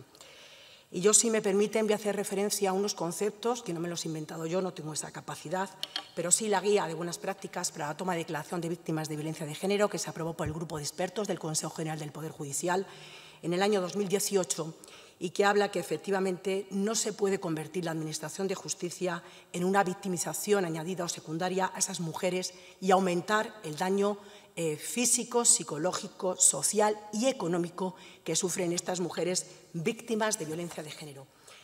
Esta guía habla de tres eh, adjetivos o, tres, eh, en este caso, tres calificativos que tenemos que tener muy en cuenta y que son muy impactantes para mí. Habla de insensibilidad del sistema, habla de indiferencia y habla de insolidaridad. Yo siempre digo que si hay que traer a hablar a alguien es a las víctimas, porque son las que nos pueden decir cómo se han sentido tratadas por el sistema judicial. Y yo, desde mi modesta, no soy técnica tampoco en violencia de género, pero sí llevo más de 10 años al frente de un juzgado de violencia sobre la mujer y he escuchado a muchas mujeres y sobre todo también fuera del juzgado he tenido la posibilidad de escuchar cuál es la percepción que tienen estas víctimas que acuden a un juzgado. Y yo siento decirles que muchas con otros nombres distintos hablan de un concepto que se llama violencia institucional. Es muy importante hablar de justicia interpersonal, esa justicia a la que tiene derecho la víctima como un concepto muy novedoso, es decir, que la relación entre éste y la justicia sea algo positivo y en ningún caso sea percibida como algo negativo. Pero mi pregunta es, preguntemos a estas mujeres, preguntemos eh, a estas mujeres de las que los porcentajes de denuncias son tan bajas y desgraciadamente no podemos preguntar a esas mujeres que han sido asesinadas y que no denunciaron. Muchas no denunciarían por miedo, pero otras no denunciarían porque no confiaban en el sistema judicial. Pero estos conceptos no me los invento yo, estos conceptos ya vienen, pues lógicamente, incluso del Convenio de Estambul, ratificado por España en el año 2014, que habla de ese evitar esa revictimización a la que son sometidas estas víctimas. La violencia institucional existe y, desde luego, es el mayor o la mayor dificultad que tienen estas mujeres cuando acceden al sistema eh, judicial. Dice esta guía que victimizarlas significa dejarlas solas, agrava su situación y ellas piensan, lo dice estos términos la guía, que no hay salida. Las víctimas, en cualquier tipo de delitos, han sido siempre las grandes olvidadas dentro del procedimiento penal. Siempre la posición del derecho procesal o el derecho penal ha sido la protección de los derechos del investigado, el acusado, el encausado o el condenado, y las víctimas han sido, sin duda alguna, las grandes olvidadas del sistema eh, procesal penal. La concepción victimocéntrica, que se adopta ya eh, con la ley del Estatuto de la Víctima, de la que ha hablado también muy bien Eva y cita, supone un punto de inflexión en el año 2015, pero ya desde antes había normativa eh, que hablaba de esa necesidad de proteger los derechos de las víctimas, que vuelven a decir a las grandes olvidadas. Y cuando hablamos de víctimas de violencia de género, tengo que hacer una especial mención, al igual que sus hijos e hijas, porque precisamente la ley del Estatuto Jurídico de la Víctima del 2015 hace especificaciones concretas cuando se trata de víctimas de violencia de género y de niños y niñas. Con lo cual, esta diferenciación no me la invento yo. Es decir, la ley del Estatuto de la Víctima del 2015 nos está diciendo Todas las víctimas tienen derecho a una protección, por supuesto, lo reconoce el catálogo de derechos, pero cuidado cuando estamos con víctimas de violencia de género o cuando estamos ante víctimas que son niños, niñas o adolescentes, porque precisamente la situación especialmente vulnerables les hace que acceder al sistema judicial pueda ser todavía muchísimo más complicado. La Ley Orgánica 1-2004 de Medidas de Protección Integral contra la Violencia de Género, efectivamente, como el Pacto de Estado, pues eh, que parece que ahora tenemos que revisar lo que ya se ha conseguido con un consenso absolutamente político y que desde luego no lo dice la normativa interna, lo dice la normativa internacional. Y no podemos permitir bajo ningún concepto que esto sea un retroceso para no hablar de algo que sí es violencia de género, porque la violencia tiene género, ya viene de antes, es decir, la protección de las víctimas viene con menores desde el año 96, desde el año 2011 el reconocimiento y el estatus de las víctimas de terrorismo, es decir, la protección de la víctima viene de nuestro ordenamiento jurídico desde eh, mucho antes. Pero es cierto que en el año 2015 marca un punto de inflexión con la promulgación de esta ley del Estatuto de la Víctima. Aquí se ha hablado del derecho a la información que reconoce esta ley, habla del derecho a la traducción e interpretación, pero mi pregunta es, ¿cómo se hace esa información a esas víctimas? Eh, la lógica y la propia ley nos exige que sea en un lenguaje comprensible. A veces hace un lenguaje comprensible, pero no es entendible. ¿eh? Eh, la información de los derechos a una víctima de violencia de género se realiza desde el minuto cero en un juzgado por lo que se llamaba anteriormente secretarios judiciales, ahora se llama letrados de la Administración de Justicia. Pero tenemos que pensar que una víctima, en este caso una mujer, acude a un juzgado de violencia, yo soy testigo de esa situación, con una situación de bloqueo absoluto emocional y psicológico, no sabe qué va a pasar con sus hijos e hijas, no sabe lo que va a pasar con su vida, no sabe lo que es un procedimiento penal, nunca ha estado en un juzgado y desde el minuto cero se la empieza a informar en muchas ocasiones de pie y ante un estrado como estamos aquí de los derechos que tiene en estos términos. Usted tiene derecho a personarse en la causa como acusación particular, tiene usted derecho a ejercitar las acciones penales y civiles y si no las ejercitará el Ministerio Fiscal en su nombre. Yo creo que todos y todos los que estamos aquí sabemos el lenguaje prolijo, complejo en derecho. Pongámonos, por favor, en la posición de estas mujeres. Y aquí intervengo o introdujo la figura del, del procurador. Y digo, qué interesante sería si en esos momentos iniciales esa información de derechos se hiciera con la intervención de un procurador. Un procurador que garantiza que esa información, y lo ha dicho muy bien Eva, es una figura híbrida, es un instrumento de colaboración de la Administración de Justicia, pero representa a ese ciudadano, esté presente en esa diligencia de información de derechos que se hace a las víctimas en un lenguaje muchas veces incomprensible y donde a veces tiene trascendencia fundamental si va a ejercitar o no acciones penales o se va a constituir como acusación particular. Yo creo que no todos y todas los que estamos aquí sabemos lo que es constituirse como acusación particular o los términos en que están redactados los ofrecimientos de acciones que digo y corroboro que así están redactados en el papel. Esta ley habla sin duda alguna la necesidad de esa información que tienen las víctimas a, saber el, el, estado en que se encuentra el procedimiento. Es un derecho que reconoce esta ley. Bueno, pues yo creo que en mi modesta vida profesional no he visto a ninguna víctima que haya ejercitado este derecho o que sepa que puede saber en qué estado está su procedimiento. Pero es que no solamente no hayan, hecho este, hayan uso de este derecho, es que ni siquiera saben dónde está su procedimiento. Porque, claro, todos sabemos distinguir lo que es una denuncia, lo que es una demanda civil, lo que es una sentencia y lo que es un auto. Pero un ciudadano de a pie no sabe esos términos. Y desde luego, cuando ya se trata de asuntos que van a otros juzgados por cuestiones de competencia, la víctima no sabe absolutamente nada de lo que ha pasado con ese procedimiento suyo. Es más, las preguntas dicen, no sé, yo denuncié hace cuatro años y a usted no le han llamado, no le han dicho si ha habido juicio, si ha habido sentencia. Yo no sé nada. ¿De acuerdo? Bueno, pues yo creo que este derecho a la información del estado del procedimiento, el saber y tener monitorizado su procedimiento judicial en todo momento como un derecho que reconoce el artículo 7 de la ley del Estatuto Jurídico de la Víctima, sería absolutamente importante a través de un procurador que en todo momento sabe si el procedimiento está pendiente de un escrito de acusación, si el procedimiento está parado en el, en el, en el punto en el que está o está en el despacho del juez o la jueza esperando a ser resuelto. Creo que es importante esta intervención. Eh, tenemos que hablar, por tanto, de un concepto que para mí me parece muy bueno, es la justicia informacional. ¿eh? Esa justicia es que la víctima tiene que estar al corriente y plenamente informada. La mejor protección que se puede dar a una víctima es la información, como cualquier ciudadano ante cualquier situación, el estar informados y con una información lógicamente comprensible y veraz.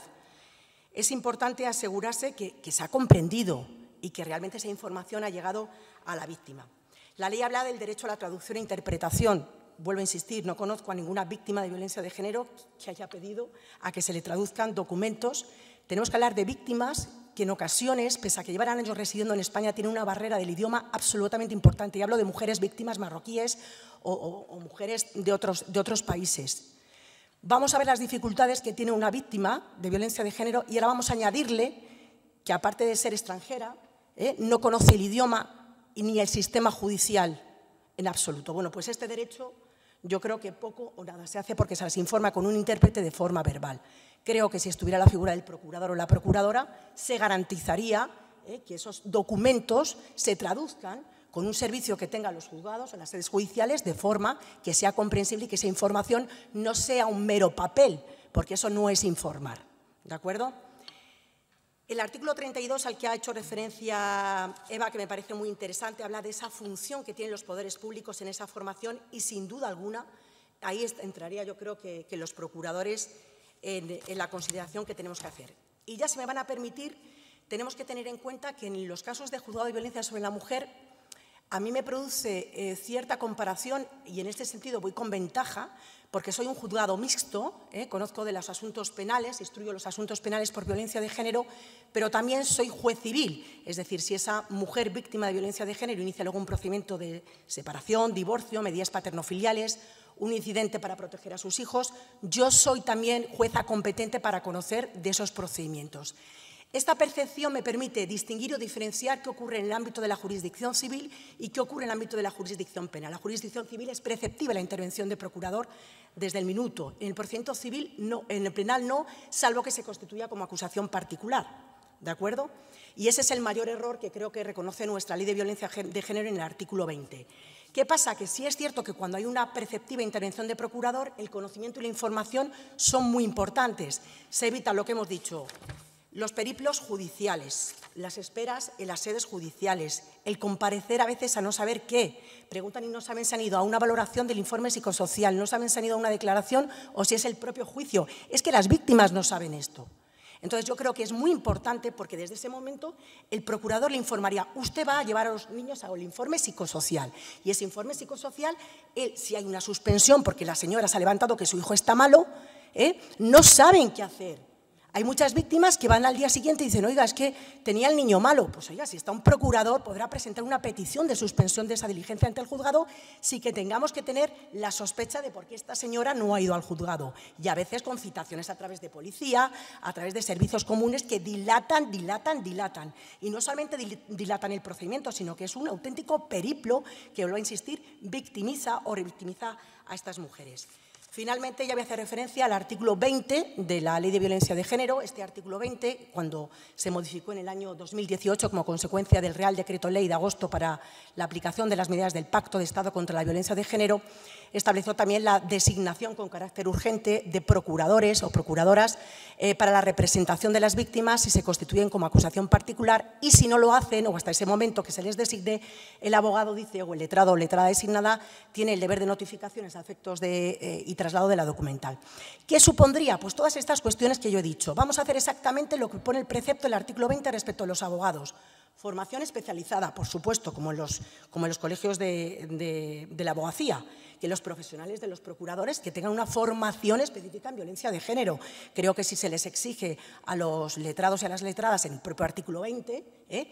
Eh, pues creo que también es exigible al, procuradores y procuradores que están en este entorno de violencia. Y vamos a garantizarlo desde el minuto cero. ¿Por qué? Pues por todo lo que he dicho, por aportación documental. Eh, pongo un ejemplo claro y ya con esto termino. mujer que ha denunciado, en muchas ocasiones la denuncia se toma declaración ante el juzgado de guardia, no es el juzgado de violencia sobre la mujer. En ocasiones, la información de derechos, la mujer quiere salir porque tiene a sus hijos en casa y, claro, designar un abogado oficio supone retardar el procedimiento y la respuesta judicial. En ocasiones, en dependencias policiales se le dice si va a tardar un abogado o solicita usted un abogado, va a tener que esperar usted unas cuantas horas. La víctima, como ustedes comprenderán, no va a hacer uso de este derecho. ¿Qué pasa? Que en el momento en que no hace uso del derecho de letrado parece que tampoco tiene derecho a nada. Oiga, el que yo no haga uso de un letrado que me asigna la ley con carácter gratuito e inmediato no significa que yo no pueda conocer ni estar al corriente de mi procedimiento y en cualquier momento ejercitar o, designar un abogado. Bueno, pues todas estas cuestiones, sin duda alguna, se solventarían con la intervención de eh, los procuradores. Tenemos que evitar esos trámites innecesarios, esas dilaciones indebidas, esas, eh, esos peregrinajes a los que se enfrentan muchas víctimas de violencia de género.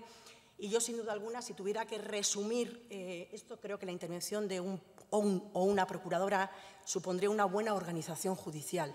Y una buena organización judicial favorecería, sin duda alguna, la protección de las víctimas de violencia de género. Muchísimas gracias por su atención.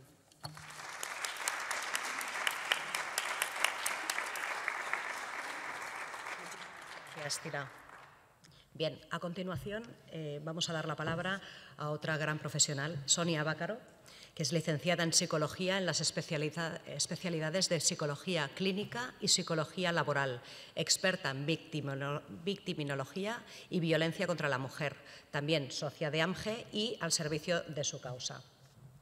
Sonia, me dijiste que era una gran responsabilidad constituirte en voz de las víctimas para este acto. También es responsabilidad de todos tomar conciencia de tus palabras y valorarlas ah, detenidamente. Tenemos, mm, someramente, repasamos alguna estadística publicada en el año 2021 por el Observatorio del Consejo General del Poder Judicial. Muy pocas mujeres denuncian, muy pocas mujeres asesinadas denuncian. A pesar de ello, se han presentado 159.352 denuncias de mujeres víctimas de violencia machista, que equivalen a una media de 446 denuncias diarias y 41.073 condenas, siendo las sentencias condenatorias el 76% del total. Me gustaría formularte un par de preguntas. Sonia, ¿crees que hay una relación directa entre la rigidez del proceso penal y el escaso número de denuncias de mujeres que acaban asesinadas por sus agresores? ¿Se suma al pánico hacia su agresor el pánico a ese proceso penal? Gracias.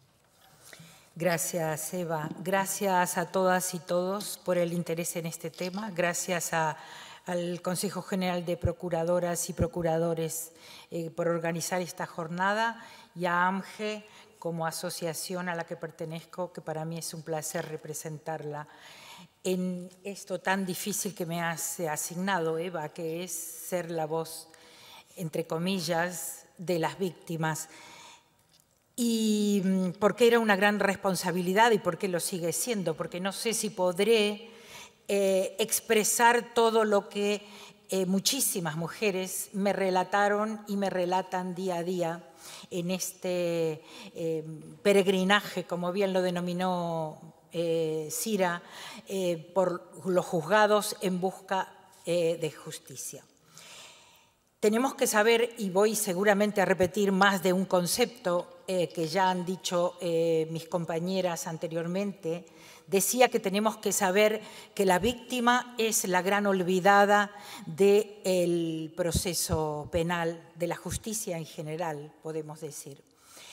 Em, yo celebro por eso y especialmente la organización de esta jornada porque vamos a hablar de la víctima, la gran olvidada en todos estos años. Ya desde el año 1985 Naciones Unidas hizo un manual de justicia para víctimas del delito y abuso del poder, así lo llamó. Manual que a día de hoy continúa absolutamente vigente con todas sus indicaciones y recomendaciones a todos los Estados miembros. Por supuesto, España forma parte eh, de ellos. Solo decir algunas cifras, siguiendo lo que eh, mi compañera Eva dijo antes. Eh, la víctima no solo es la gran olvidada, sino que es la gran silenciada. La víctima prácticamente no tiene voz y en un delito tan grave como es la violencia contra las mujeres, sabemos que, contrariamente a lo que se quiere instalar como discurso sintónico eh, o hegemónico, solo el 20% denuncia. Eh, el 20% de las víctimas de violencia de género es la que denuncia. Insisto, contrariamente a todo lo que se quiere hacer creer que las mujeres denuncian de modo falso, ficticio o no existiendo. Estamos, por lo tanto, frente a un delito que es invisible. No lo conocemos porque solo asoma una parte ínfima de lo que realmente está sucediendo. Y esto lo tenemos que saber porque evidentemente si nos vamos a ocupar de la víctima, tenemos que saber que la víctima se conjuga en femenino.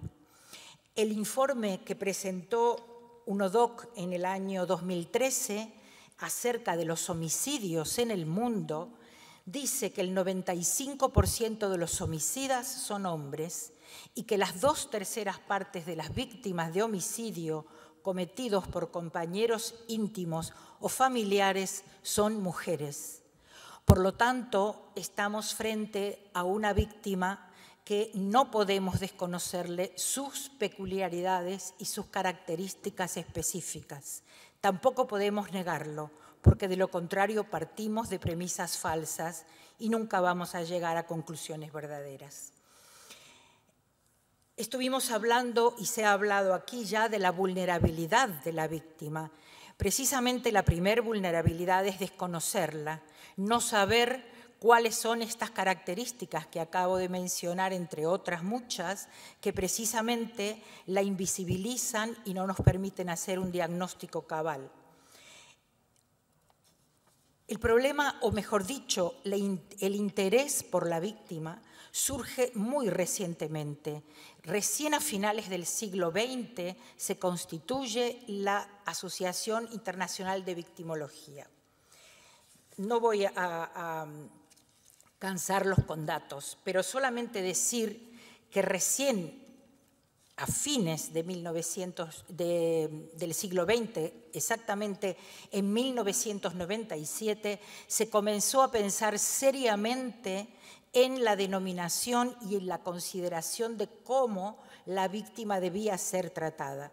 Solo un ejemplo, hasta ese momento se hablaba de víctima propiciatoria, cuando una víctima padecía algún delito reiterado, o sea, poniendo toda la carga de la prueba incluso sobre ella misma, sobre la víctima.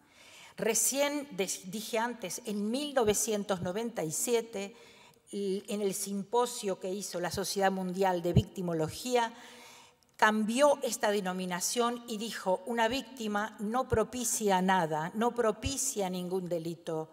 Una víctima es víctima reiterada de delitos reiterados. Y a partir de allí se comenzó a modificar la mirada sobre la víctima.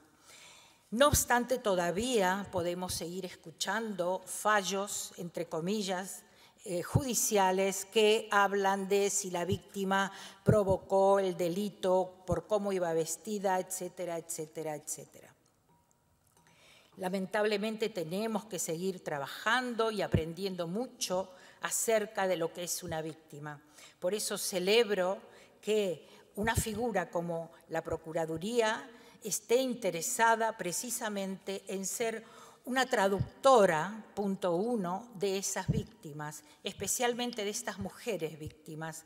Sira decía el lenguaje jurídico, yo doy fe que las mujeres no entienden qué se les dice, primero por el momento de estrés cuando van a denunciar, cómo se encuentran, no están denunciando a una persona desconocida, por lo tanto tienen que recuperarse anímicamente para poder entender que ha cometido esa persona un delito encima sobre ella y que la misma boca que le dijo te quiero fue la que la amenazó de muerte y que la misma mano que la acarició fue la que casi la mata. Recuperarse de todo eso implica una serie o un estado psíquico que de verdad, más allá de la, dificultad del idioma jurídico y judicial, no entiende absolutamente nada, ni de lo que pasa, y algo mucho peor, ni de lo que puede llegar a pasar. Y en todo esto es cuando hablo yo de traducirle a la víctima, primero empatizando con ella y después tratando de ponerle la comprensión de todo lo que está sucediendo y puede llegar a suceder más adelante. Volviendo un poco al tema de la víctima en general, que como vimos, y no olvidemos que se conjuga en femenino, tenemos que saber que el delito impacta sobre un cuerpo físico, pero siempre sobre un cuerpo psíquico. Y si no entendemos esto, lamentablemente no vamos a poder brindar una justicia justa y valga la redundancia. Eh, se trabajó con respecto a los derechos de las víctimas y se incluso en, tenía por aquí yo unas cifras de los factores que aumentaban la vulnerabilidad, que fueron las reglas de Brasilia, que se hicieron allí por el año 2008, y los factores, como mencioné, que aumentan la vulnerabilidad, se combinó que eran, en especial y en este orden, primero la edad de la víctima, luego el sexo de la víctima, y luego seguían las secuelas del delito y alguna circunstancia anexa como podía ser alguna discapacidad, etc. Por lo tanto, estamos indudablemente frente a una víctima muy vulnerable que tiene que ver con la víctima de violencia de género. A esto yo le he añadido algo precisamente haciendo mención a lo que dijo la presidenta de la Comisión de Igualdad y mi compañera anteriormente, que, eh, que es lo de violencia vicaria. La violencia vicaria nos está mostrando, además, que ser madre con un hombre violento es otro factor de vulnerabilidad que no podemos soslayar. Por lo tanto, a la hora de empatizar con esa víctima y tratar de traducirle y traducir lo que está sucediendo, tenemos que tener en cuenta también este factor.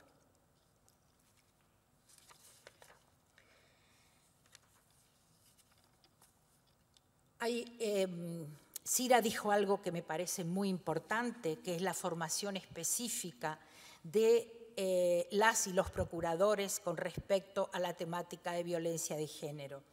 No me cabe duda que hoy en día la mayoría de los colectivos profesionales está sensibilizado con este tema, pero no tenemos que dar por cierto que todo el mundo lo conoce y que todo el mundo sabe de lo que estamos hablando. El negacionismo frente a la violencia contra las mujeres lamentablemente sigue vigente, está vivo y convive entre nosotras y nosotros. Por lo tanto, no lo podemos soslayar, eso es algo que tenemos que entender que debemos afianzar también. Por lo tanto, la formación específica es algo que me parece absolutamente pertinente. Luego, que una mujer denuncie no quiere decir que esté preparada para recibir todo lo que le digamos que tiene que poder hacer o que puede seguir sosteniendo en esa causa. Puede ser un momento que le han dicho tienes que denunciar, pero inmediatamente si no la apuntalamos, si no la apoyamos, si no puede entender que la estamos comprendiendo, si no empatizamos con ella, lamentablemente no va a poder sostener esa eh, denuncia y muchísimo menos el peregrinaje, como se señalaba antes, eh, por la justicia y la causa judicial. Además, no podemos olvidar que ahí afuera continúa habiendo un maltratador que seguramente va a seguir pidiendo perdón, diciendo que se equivocó y todas las argucias que sabemos que pone al servicio de que la mujer retire la denuncia o que no la inste, etcétera, etcétera. Eh, para terminar, yo me estoy aquí este, porque me dijeron que sea muy puntual con el tiempo. Así que para terminar, quiero remarcar algo de lo que he puntualizado de las ponencias que me precedieron. Eh, la presidenta de la Comisión eh, de Igualdad habló de algo muy importante que me parece que es la violencia estructural, que no debemos olvidar que está eh, en todos los ámbitos. Si desconocemos esto, vamos a creer que poniendo en el platillo el 50% de cada lado, vamos a lograr justicia justa. Y lamentablemente eso no es así. La violencia estructural hace que partamos de una balanza que está desnivelada. Por lo tanto, para equilibrarla, tenemos primero que comprender a la víctima y tratar de poner en igualdad a los platillos. A partir de ahí podemos hablar de la mitad para cada parte. De lo contrario, no vamos a hacer justicia en igualdad. El presidente de la Procuraduría habló de un mundo mejor y yo apuesto de verdad porque considerando a la víctima sea eh, la posibilidad de construir un mundo mejor. Eh, por lo pronto, un mundo con justicia y equidad. Eh, mis compañeras que me precedieron hablaron de estar al lado de la víctima, hacer un acceso igualitario a la justicia con una igualdad efectiva y tratar de evitar por todos los medios la violencia institucional.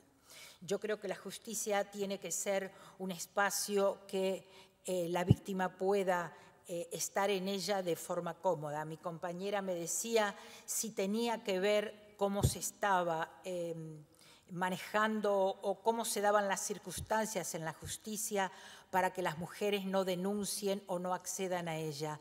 Y yo le voy a decir que lamentablemente por todas las voces de víctimas que he escuchado y que escucho, la respuesta es sí. La víctima todavía en la justicia no se siente comprendida, no es para ella un espacio ni cómodo ni donde está, se siente, lo siente amigable, mejor dicho.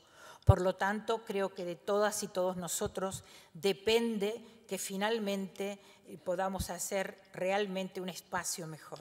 Nada más, muchas gracias.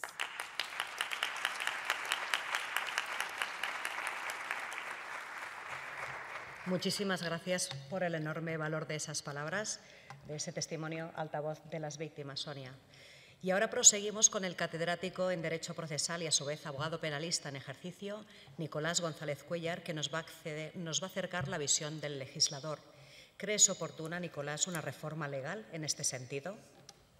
Pues Eva, me parece que es una, sería una reforma sumamente positiva y creo además que es una magnífica, es una magnífica iniciativa la del de, Consejo de los Procuradores de España, eh, auspiciarla porque, como se ha dicho ya por parte de mis compañeras de mesa, por Cita, Cira y Sonia, a las cuales felicito por sus magníficas exposiciones, hay que darle un rostro humano a la justicia y verdaderamente las víctimas de violencia de género, así como otras víctimas, no es conveniente que acudan solas a, los edificios judiciales, como luego tendré ocasión que decir. Antes me gustaría partir de algunas reflexiones previas. En primer lugar, es necesario darse cuenta de que la víctima encarna un fracaso del Estado en la protección de su seguridad, de su persona, de sus bienes. Ese fracaso del Estado es, en cierta medida, inevitable, porque vivimos en un mundo de riesgo. No todo peligro se puede eliminar. Se podrá adoptar medidas para reducirlo. Y en España, además, la criminalidad no es una criminalidad alta. Es imposible que el Estado, por muchos medios que aporte, por muchas normas que apruebe, acabe con cualesquiera delitos. Siempre el delito va a existir. Pero esta constatación de que, la víctima, de que, la víctima encarna un fracaso del Estado supone, a su vez, la necesidad de responsabilizar al Estado para que, cuando se produce el hecho delictivo, tenga en cuenta, en primer lugar, sus intereses, sus derechos, antes incluso que eh, el interés en la aplicación del ius puniendi estatal. ¿Cuál es la dificultad? ¿Por qué surge el problema de atender debidamente a las víctimas en el ámbito del proceso penal? Pues seguramente la dificultad se encuentra en que los tribunales de justicia surgen precisamente para evitar la actuación de la víctima frente al delito. Es decir, eh, la historia del proceso penal es la historia de la sustitución de la víctima por el leviatán, por el Estado. En los orígenes de la historia, y no hace tanto tiempo, en la Edad Antigua y también en la Alta Edad Media, la justicia era aplicada en el seno de las familias por el patriarca. Era el pater familias el que decidía sobre la vida de su mujer, de sus hijos, de los siervos que convivían con ellos. No había un problema de aplicación de la ley más allá eh, de las familias si el delito no afectaba a otros miembros de la comunidad. En las tribus, que son confederaciones eh, de familias unidas por tener ancestros comunes, los problemas se suscitaban cuando un miembro de una familia cometía un delito contra el miembro de otra familia. En ese caso era necesario, para el mantenimiento de la unidad política eh, de la tribu, que alguien solucionara la disputa. Ah, lo podía hacer la asamblea, lo podía hacer el, magistrado. en tiempos de paz no había una, unidad, una autoridad política clara. El caso es que se llegaba a fórmulas a fórmulas que ahora consideraríamos arbitrales o de mediación. No tampoco se imponía por la fuerza la decisión adoptada. Como mucho, la persona que no cumplía la solución, la sentencia, diríamos ahora, de, dictada en relación con el asunto, pues sufría el ostracismo o era expulsada. ¿Cómo evoluciona la situación? Pues la, la situación evoluciona en la Baja Edad Media con la recepción del derecho romano canónico y la creación de las instituciones, por un lado de la Iglesia y por otro de los Estados, en que los poderes públicos van asumiendo esa función de aplicación de la justicia que además supone un refuerzo para los poderes de los reyes. Pero claro, lo que antes se permitía a la víctima hacer, que era tomarse la justicia por su mano o aplicar la ley del talión, si no había una decisión de la asamblea o del magistrado en el ámbito de las tribus, ya los estados no permite que se haga, porque eso menoscaba el poder o de la Iglesia, si se trataba del derecho eclesiástico, o de los reyes, si se trataba de los estados-nación, o del imperio, en el caso del Sacro Imperio Romano Germánico.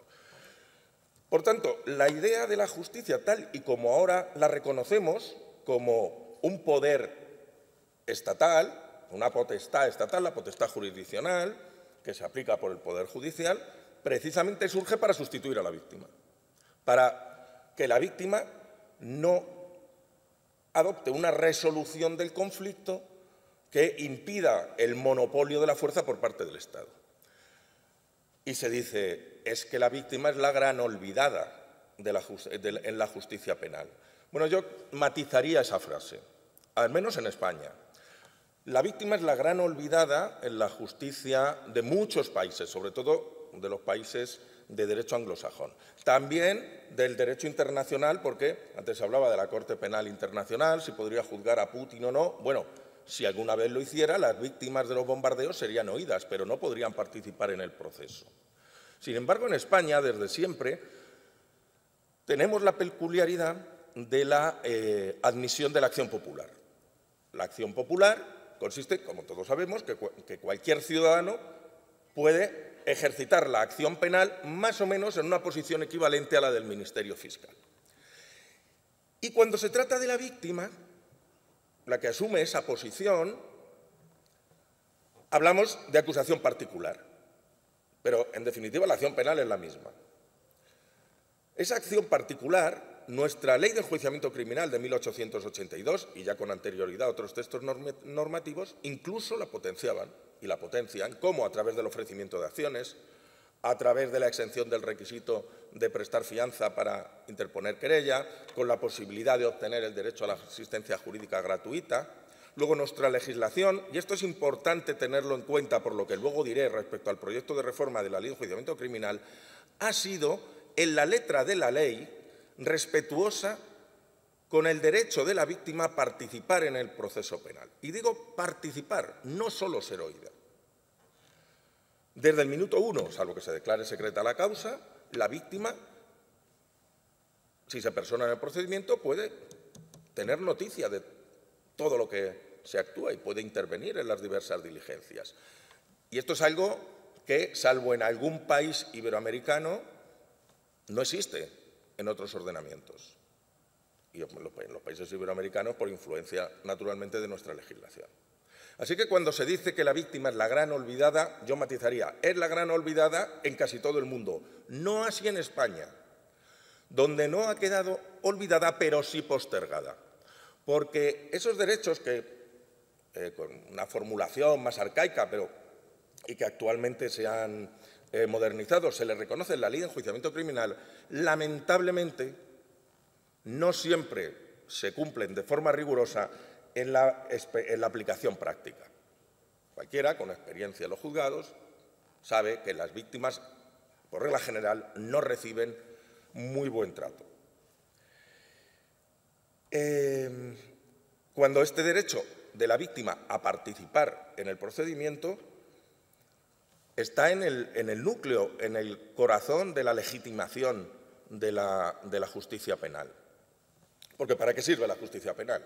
Podemos hablar de prevención general, prevención especial, retribución, en su fundamentación eh, de la metafísica de las costumbres, Kant decía, no puede ser un, bueno, enuncia un imperativo categórico muy conocido, una persona no puede ser utilizada para un fin distinta de sí misma.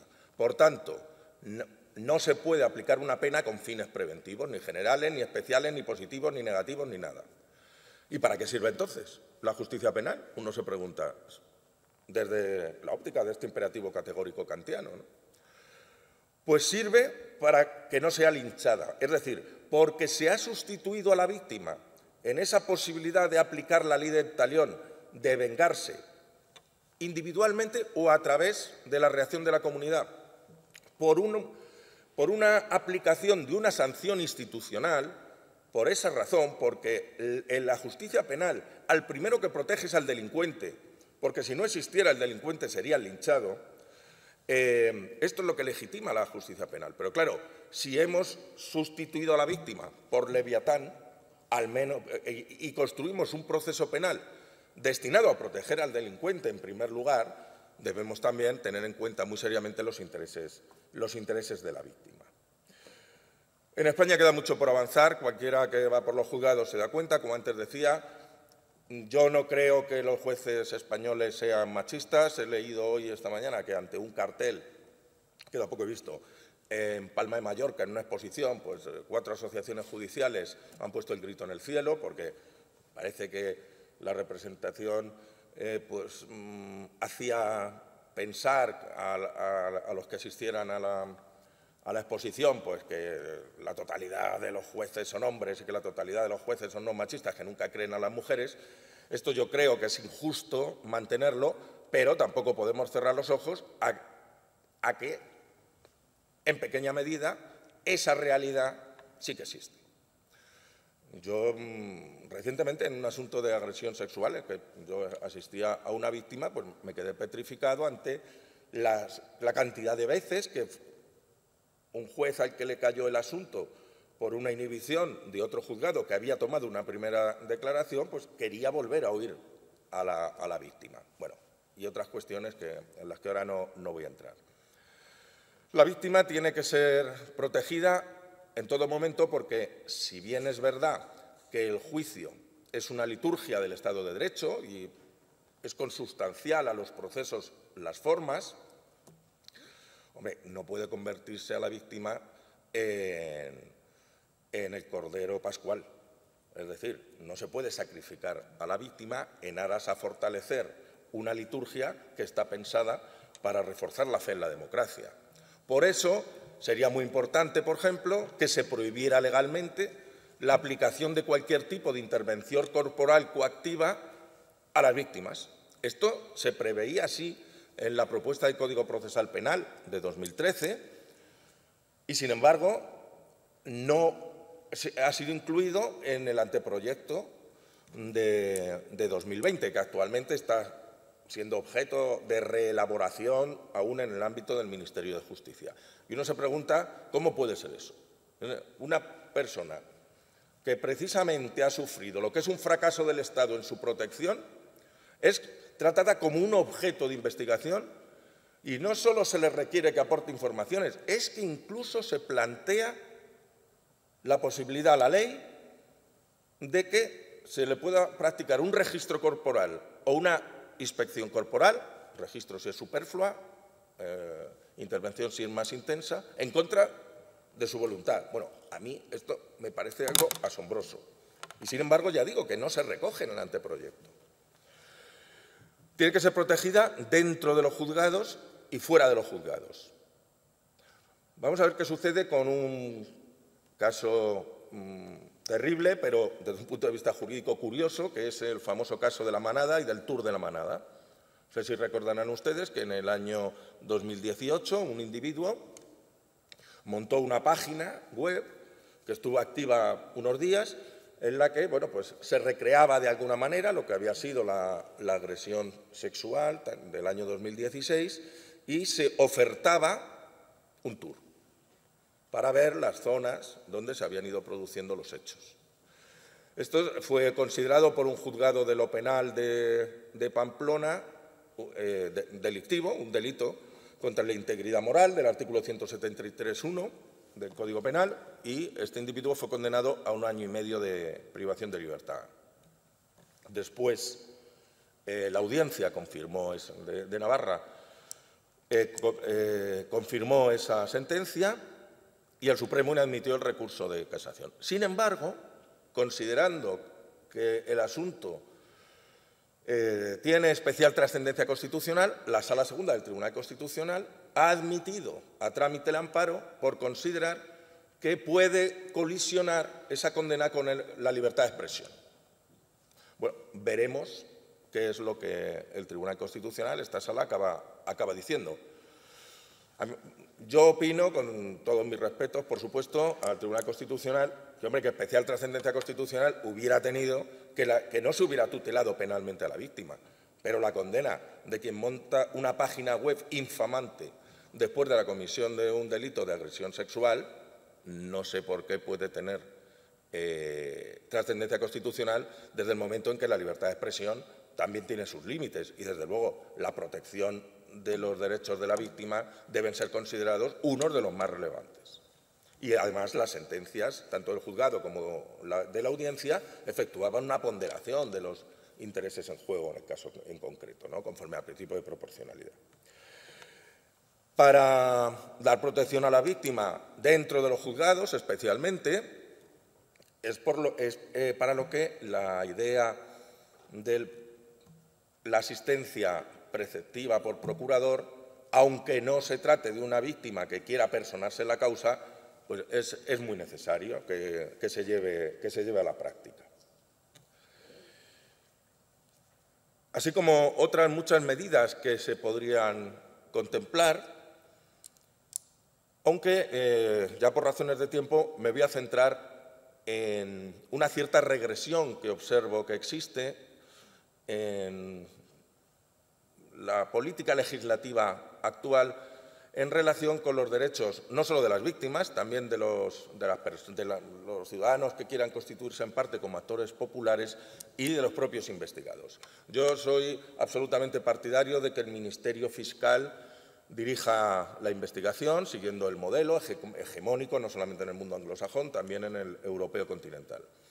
Soy también partidario de la introducción, la potenciación, mejor dicho, del principio de oportunidad. Eso sí, siempre y cuando a las víctimas se les permita impugnar las decisiones de sobreseimiento por razones de oportunidad ante los jueces de garantías.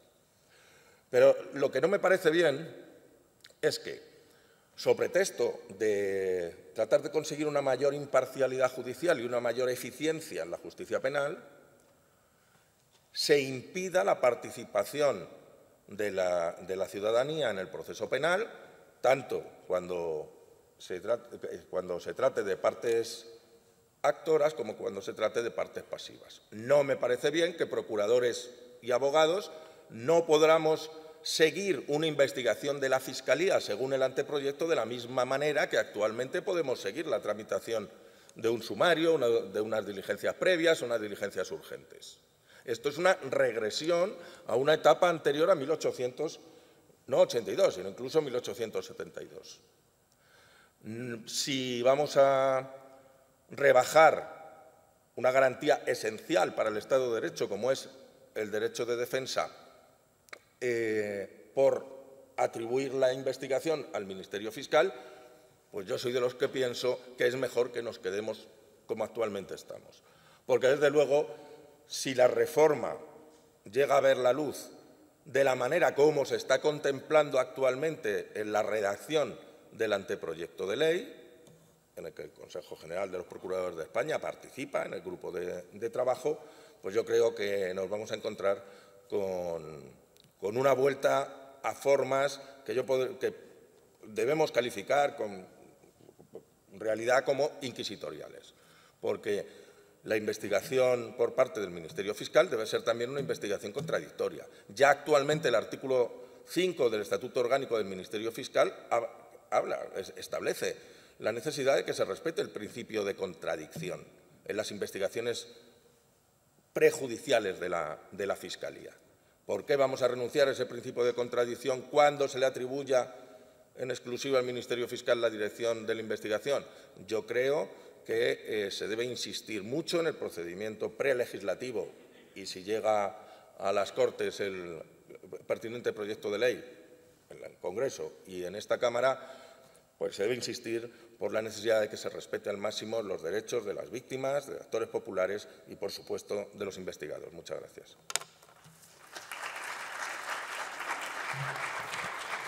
Muchas gracias, profesor, por aportarnos ese doble punto de vista de abogado en ejercicio y, además, eh, que conoces la realidad de los juzgados el papel de la víctima y ese más científico técnico que nos has, eh, de tu faceta de catedrático en Derecho Procesal, con tu amplia eh, experiencia en redacción y modificación de leyes en este país.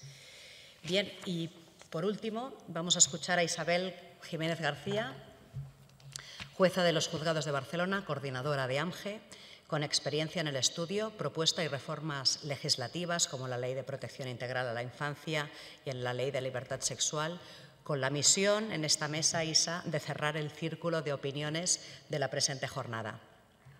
¿Opinas que una representación más amplia, integral, ejercida de principio a fin por un procurador o una procuradora reforzaría la tutela judicial efectiva de las víctimas y a su vez contribuiría a una mayor fluidez del procedimiento? Muchas gracias, Eva. En primer lugar, como no podía ser de otra manera, no puedo más que agradecer la invitación del Consejo General de Procuradores de España, especialmente de su presidente y de la Comisión de Igualdad, eh, que eh, ha sido pues, una eh, invitación muy agradecida desde AMGE y lo quiero reiterar, aunque mis compañeras ya lo hayan comentado, así como la bienvenida por la presidenta de la Comisión de Igualdad del Senado a esta maravillosa casa. Em, para mí es un verdadero placer estar aquí junto a ustedes, pero también junto a las víctimas, porque aquí venimos a hablar de las víctimas. Eva me ha formulado una pregunta eh, que responderé, eh, pero antes quiero centrar eh, la cuestión sobre qué es el proceso judicial, porque cuando hablamos de proceso parece que todos lo sabemos. Yo durante muchos años impartí clases en la universidad, además en la Facultad de Economía, un título propio que no era de Derecho, y para mí uno de los grandes hándicaps era explicarle a los alumnos qué era un proceso judicial, porque no es un edificio, no es un juzgado, no es el Consejo del Poder Judicial, no, es, no son los ministerios. ¿Qué es el proceso? Pues el proceso es el camino. Y yo siempre hablo del proceso como el camino. El camino por el, por el que hay que transitar para esos derechos que las leyes nos conceden, que los tenemos, las leyes naturales, pero vamos a pasar de las leyes naturales a los códigos y a las leyes, ¿verdad? Esas leyes que están ahí, pues eh, no podemos dar un golpe en una puerta y entrar en una casa aunque nos dejen de pagar un alquiler, ¿verdad? Tenemos que ir a un camino, un camino que está diseñado en, em, la normativa procesal. Em, pero ¿cuál es el problema de este camino? El camino está encaminado a que está dirigido a las personas que nos dedicamos al mundo judicial. No está pensado que el ciudadano coja la ley de enjuiciamiento civil o criminal y sepa con lo que se va a encontrar. Así que, mm, pues sí, es así. Es un camino pensado para juristas y no para la ciudadanía, pero menos todavía para las víctimas porque para ellas yo creo que de lo que se trata es de, un laberinto judicial más que de un camino. Así que mm, me voy a permitir eh, ir de la mano con ustedes para intentar avanzar en la respuesta a la pregunta que me ha formulado Eva. Em, y me, importa mucho resaltar el olvido, y subrayo olvido, por el legislador o legisladora, lo lamento por eh, los senadores y las senadoras em, que estén en esta sala, pero se olvidan de la procura. Se olvidan los legisladores generalmente de forma habitual y persistente. En diferentes leyes siempre nos acordamos del abogado, nos acordamos de los jueces y juezas, nos acordamos, pero la procura queda absolutamente fuera de un montón de contenidos que son precisos y absolutamente imprescindibles para dotar a las víctimas y dotar a los juzgados de una eficaz em, eh, intervención en cada uno de los procedimientos. Eh, ya nos han hablado nuestras compañeras sobre el Estatuto de la Víctima del Delito y cómo debe fomentar eh, que la cooperación de los colectivos en el trato de atención y protección a las víctimas. Mm, estas víctimas, víctimas entre ellas mujeres, niñas, niños, violadas, abusadas sexualmente, maltratadas, todas estas víctimas deambulan solas durante mucho tiempo en el laberinto judicial, durante demasiado tiempo. Y es verdad, ¿no? ya nos han dicho que hay un momento que la figura de la procura aparece, sí, es verdad, y que sí que es verdad que el abogado y la, o la abogada están allí para su asistencia letrada. Pero, ¿quién no tiene un amigo o una amiga que le ha dicho, oye, que he recibido algo muy raro en mi casa, ¿verdad? Algo que pone SAC y me citan a algo y no sé a qué, ¿no? Que se lo han dejado en el buzón de casa porque no lo han encontrado. Y es una persona con carrera, con un puesto de trabajo, que en principio no tiene ningún problema con la justicia, y te llama por teléfono, te envía un WhatsApp y te, con la foto y te dice, oye, ¿qué es esto? ¿Qué pasa? ¿Me tengo que asustar? ¿Me tengo que preocupar? Y hablamos de alguien que no es una víctima.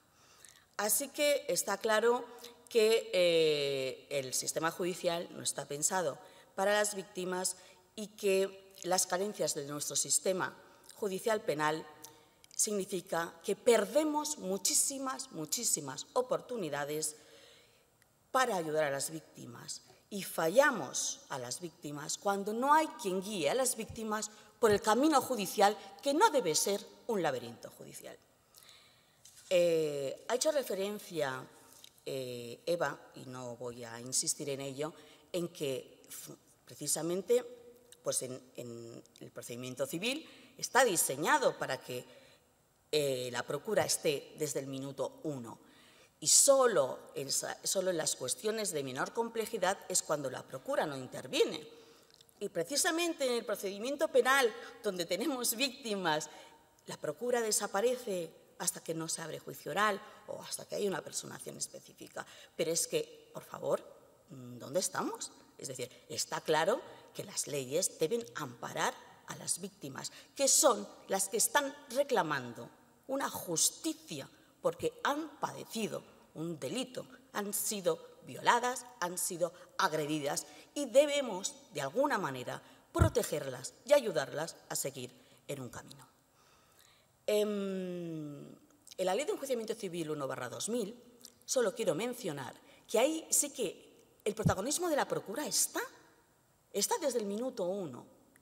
Lo dice, nos habla de sus cualidades técnicas, nos habla de cómo confía en los colegios de procuradores para las notificaciones. Es decir, el legislador, cuando estamos en la legislación civil, es consciente de la importancia de la procura y de todo lo que la procura puede hacer. Y en normativas, en la ley de procedimiento civil, que han habido em, reformas legislativas, vemos cómo se va apostando por la Procura y la Procura cada vez tiene una mayor, un mayor protagonismo en la intervención en los procedimientos judiciales. También en la ley de justicia gratuita eh, se reconoce el derecho a la justicia gratuita. Y se reconoce el derecho a la justicia gratuita, es que es muy curioso, porque eh, esto lo voy un poco a, leer cuatro cosas. Se reconoce el derecho a la justicia jurídica gratuita que se les prestará de inmediato, inmediato, a las víctimas de violencia de género, de terrorismo, de trata de seres humanos, así como a las personas menores de edad y las personas con discapacidad necesitadas de especial protección en algunos supuestos. ¿De acuerdo? Pues no está.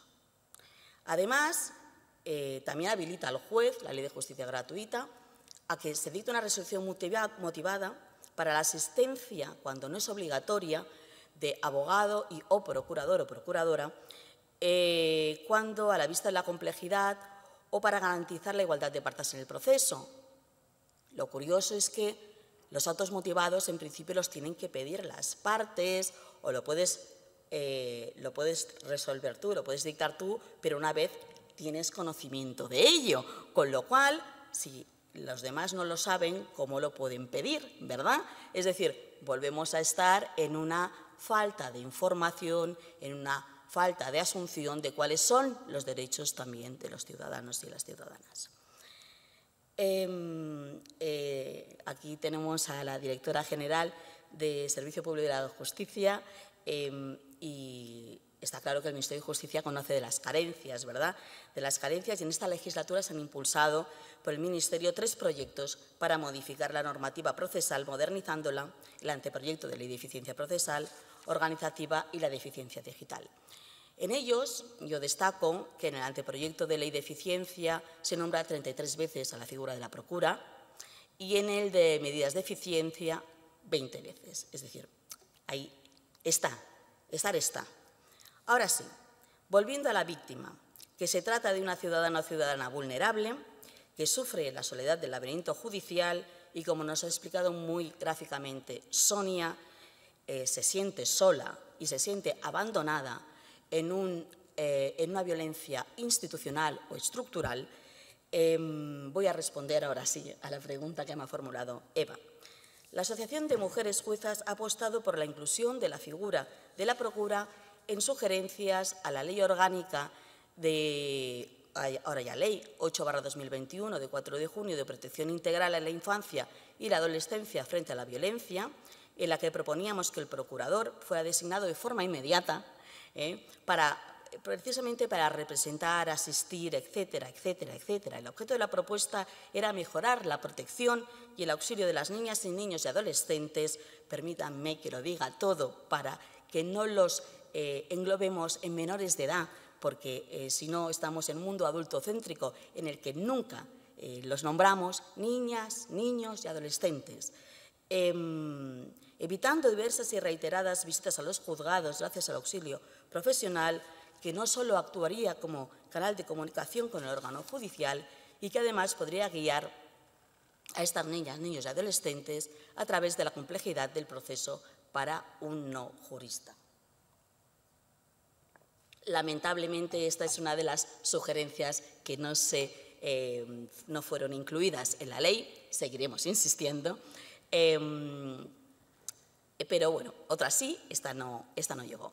También hemos propuesto enmiendas, en este caso en el proyecto de ley orgánica de garantía integral de la libertad sexual, que respecto a la procura de forma específica, que es lo que estoy em, eh, relatando, hemos introducido en la enmienda al artículo 27, puesto que solo estaba prevista la formación adecuada en el ámbito de la, de la abogacía para, eh, para las violencias sexuales. Es decir, que la procura de nuevo vuelve a estar ignorada. En este caso, además, hemos hecho una doble mención, una que obviamente que la procura debe estar desde el minuto cero, debe tener esa formación y que la formación no debe estar de una forma tan genérica en la norma, sino que debe, estar, debe constar que debe ser en materia de igualdad de género, en materia de perspectiva de género en materia de protección integral contra todas las violencias sexuales, además de lo que antes comentaba, que sea periódica, obligatoria y gratuita, tanto para la abogacía como para la procura. Y es que solo una representación más amplia, integral, ejercida de principio a fin por un procurador o una procuradora, reforzaría la tutela judicial efectiva de las víctimas y a, su vez contribuiría a una mayor fluidez en el proceso. Pero es más, ya llegados aquí, tras escuchar a las, y el ponente que me han precedido, así como a, Eva, como dinamizadora por parte del Consejo, creo que hay que dar un paso más. Y aprovecho aquí la presencia eh, de senadoras y senadores y del Ministerio, porque yo creo que podemos afirmar en este acto, y después de habernos escuchado, y de todos tantos asentimientos con la cabeza que veo constantemente conforme vamos hablando cada una de nosotras y nosotros, eh, que eh, la demanda social y judicial está encima de la mesa. Hay propuestas procesales que evitarían la soledad del laberinto judicial. No son nada complejas. Debemos evitar la revictimización de la víctima. Lo está pidiendo la sociedad hace tiempo tenemos que ayudar a convertir el camino judicial en un camino más eficaz, más amable y empático. Debemos aprovechar, sí, el avance del mundo tecnológico para ser más eficaces, pero sin dejar de ser personas. Y voy acabando. En la Asociación de Mujeres Juezas no queremos a las víctimas solas en el laberinto judicial. Las queremos acompañadas por la Procura además de por la abogacía, por supuesto, y en un camino amable, empático, eficaz y eficiente. Últimamente eh, podemos oír voces preocupadas por la inteligencia artificial en los tribunales. A la Asociación de Mujeres Juezas lo que nos preocupa es que en el camino de la eficiencia, eficacia e inteligencia artificial no nos olvidemos de las personas, de las víctimas y de la igualdad efectiva. Muchas gracias.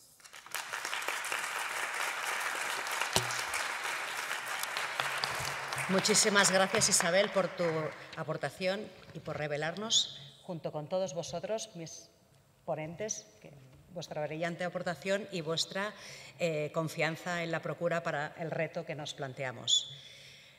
Ahora eh, creo que no da tiempo a abrir un turno de preguntas porque ya es muy avanzada la hora. Mm, no sé, creo que a la una más o menos. Sí, podemos una o dos preguntas si alguien quiere proponerla. ¿Alguien quiere proponer alguna pregunta del público? Quizá algún comentario de algún ponente. ¿O? ¿No? Bien. Sí, una pregunta. Pilar, por favor, compañera procuradora de Cana de Alicante. Hola.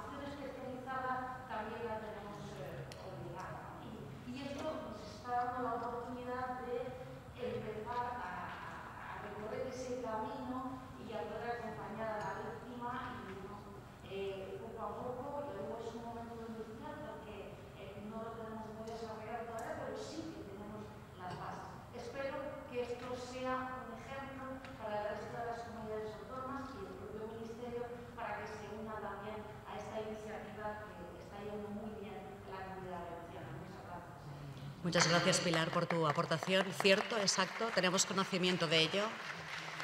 Hay eh, alguna otra comunidad autónoma, como la andaluza, que también eh, está, asistiendo a la víctima del delito desde el minuto cero por procurador y son prácticas que nos consta que están funcionando muy bien y nuestra ilusión, nuestro trabajo, nuestro empeño ahí tenemos a los miembros de la Comisión de Igualdad, es que se extienda a todas las comunidades autónomas y a todo el territorio del país. Tenemos otra pregunta por ahí. Sí, por favor. Perdón, no se oye.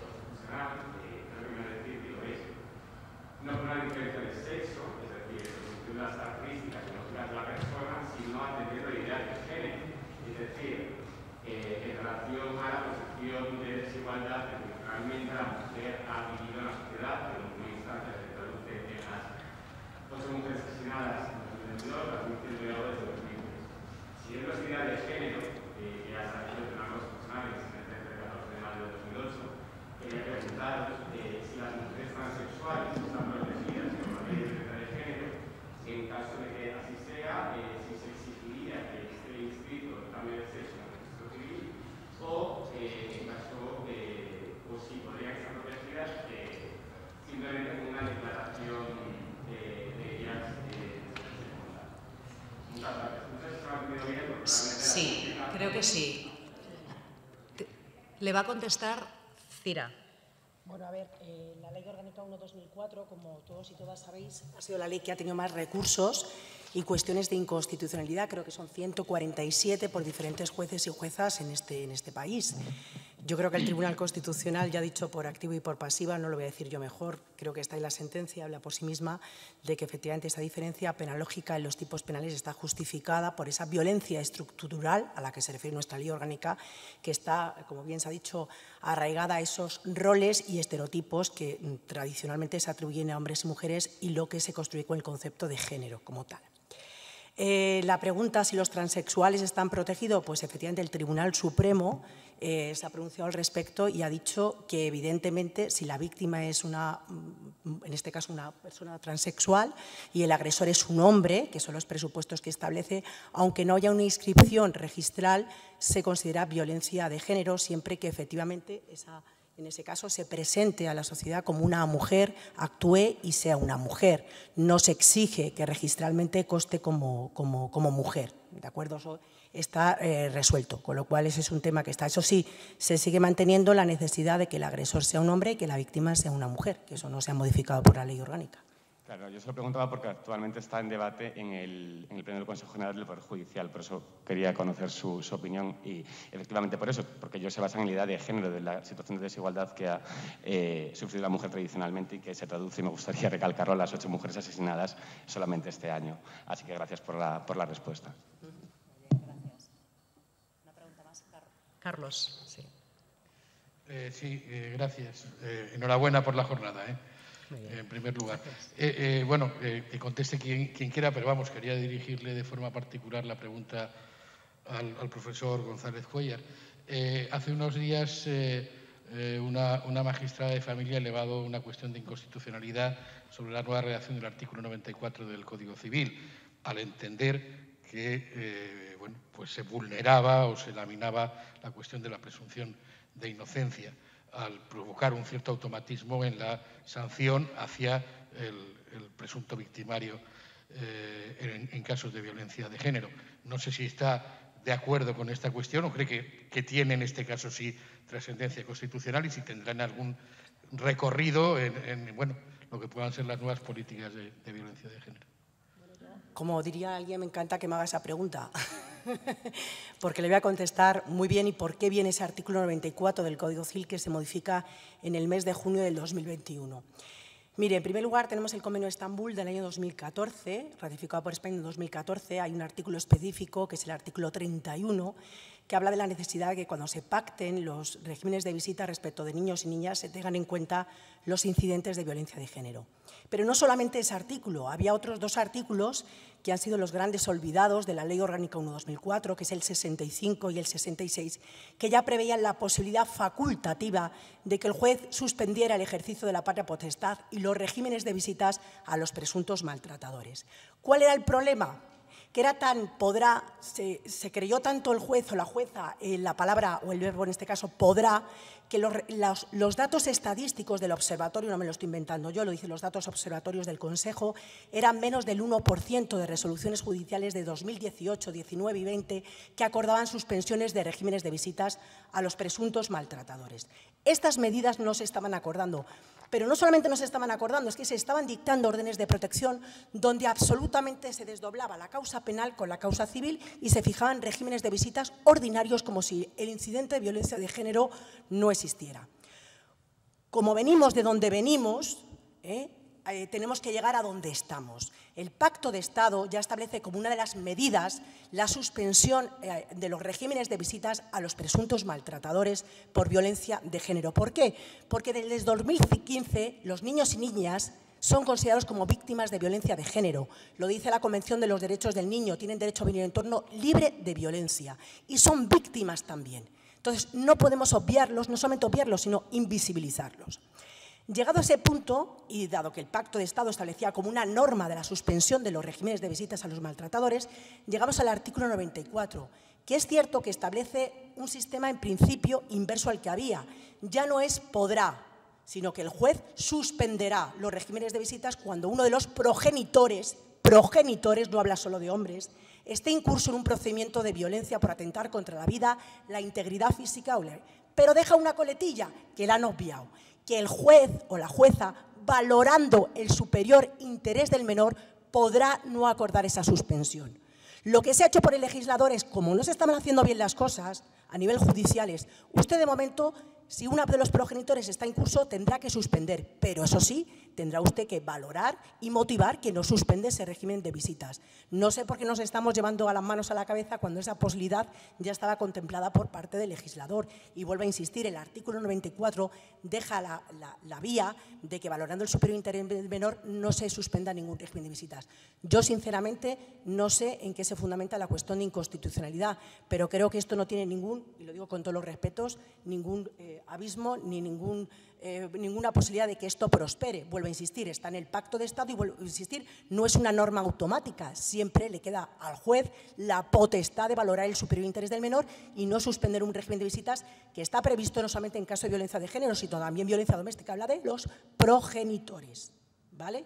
Con lo cual yo creo que lo tenemos bastante, o creo que he dado respuesta a la pregunta. Eh, lo siento, en primer lugar, es decir, yo no he presentado la cuestión de inconstitucionalidad. yo como periodista, yo como periodista le hago una pregunta. Es que yo soy así de vehemente, no es nada personal. Lo digo por, la vehemencia de la, de la respuesta, no la he presentado yo, pero sí la he leído en su integridad y, sí eh, cita precisamente que esa capacidad potestativa del juez de no aplicar la suspensión está en la práctica invalidada y por eso entra en la cuestión de inconstitucionalidad. Eh, era una, eh, valoración de carácter eh, técnico en, este caso. Bueno.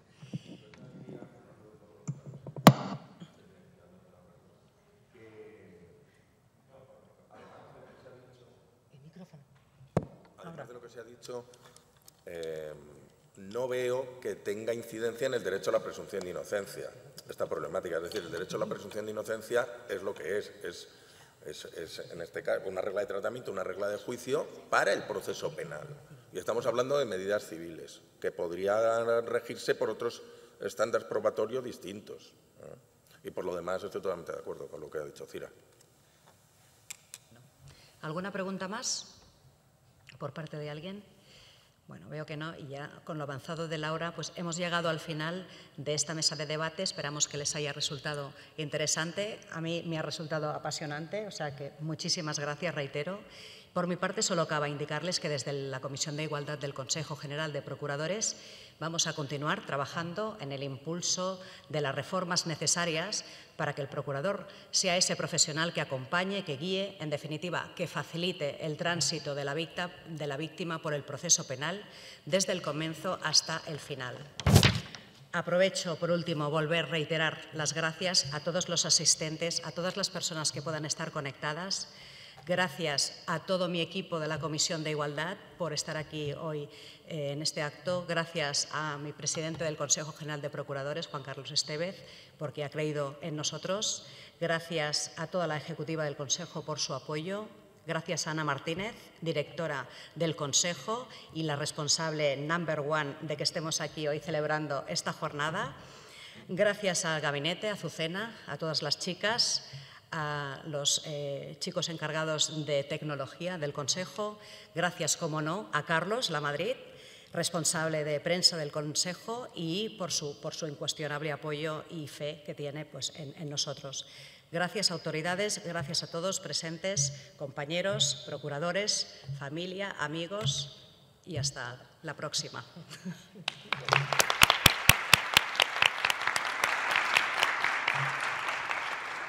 Hasta otra. Hasta la próxima. Perdón. La clausura. Sí.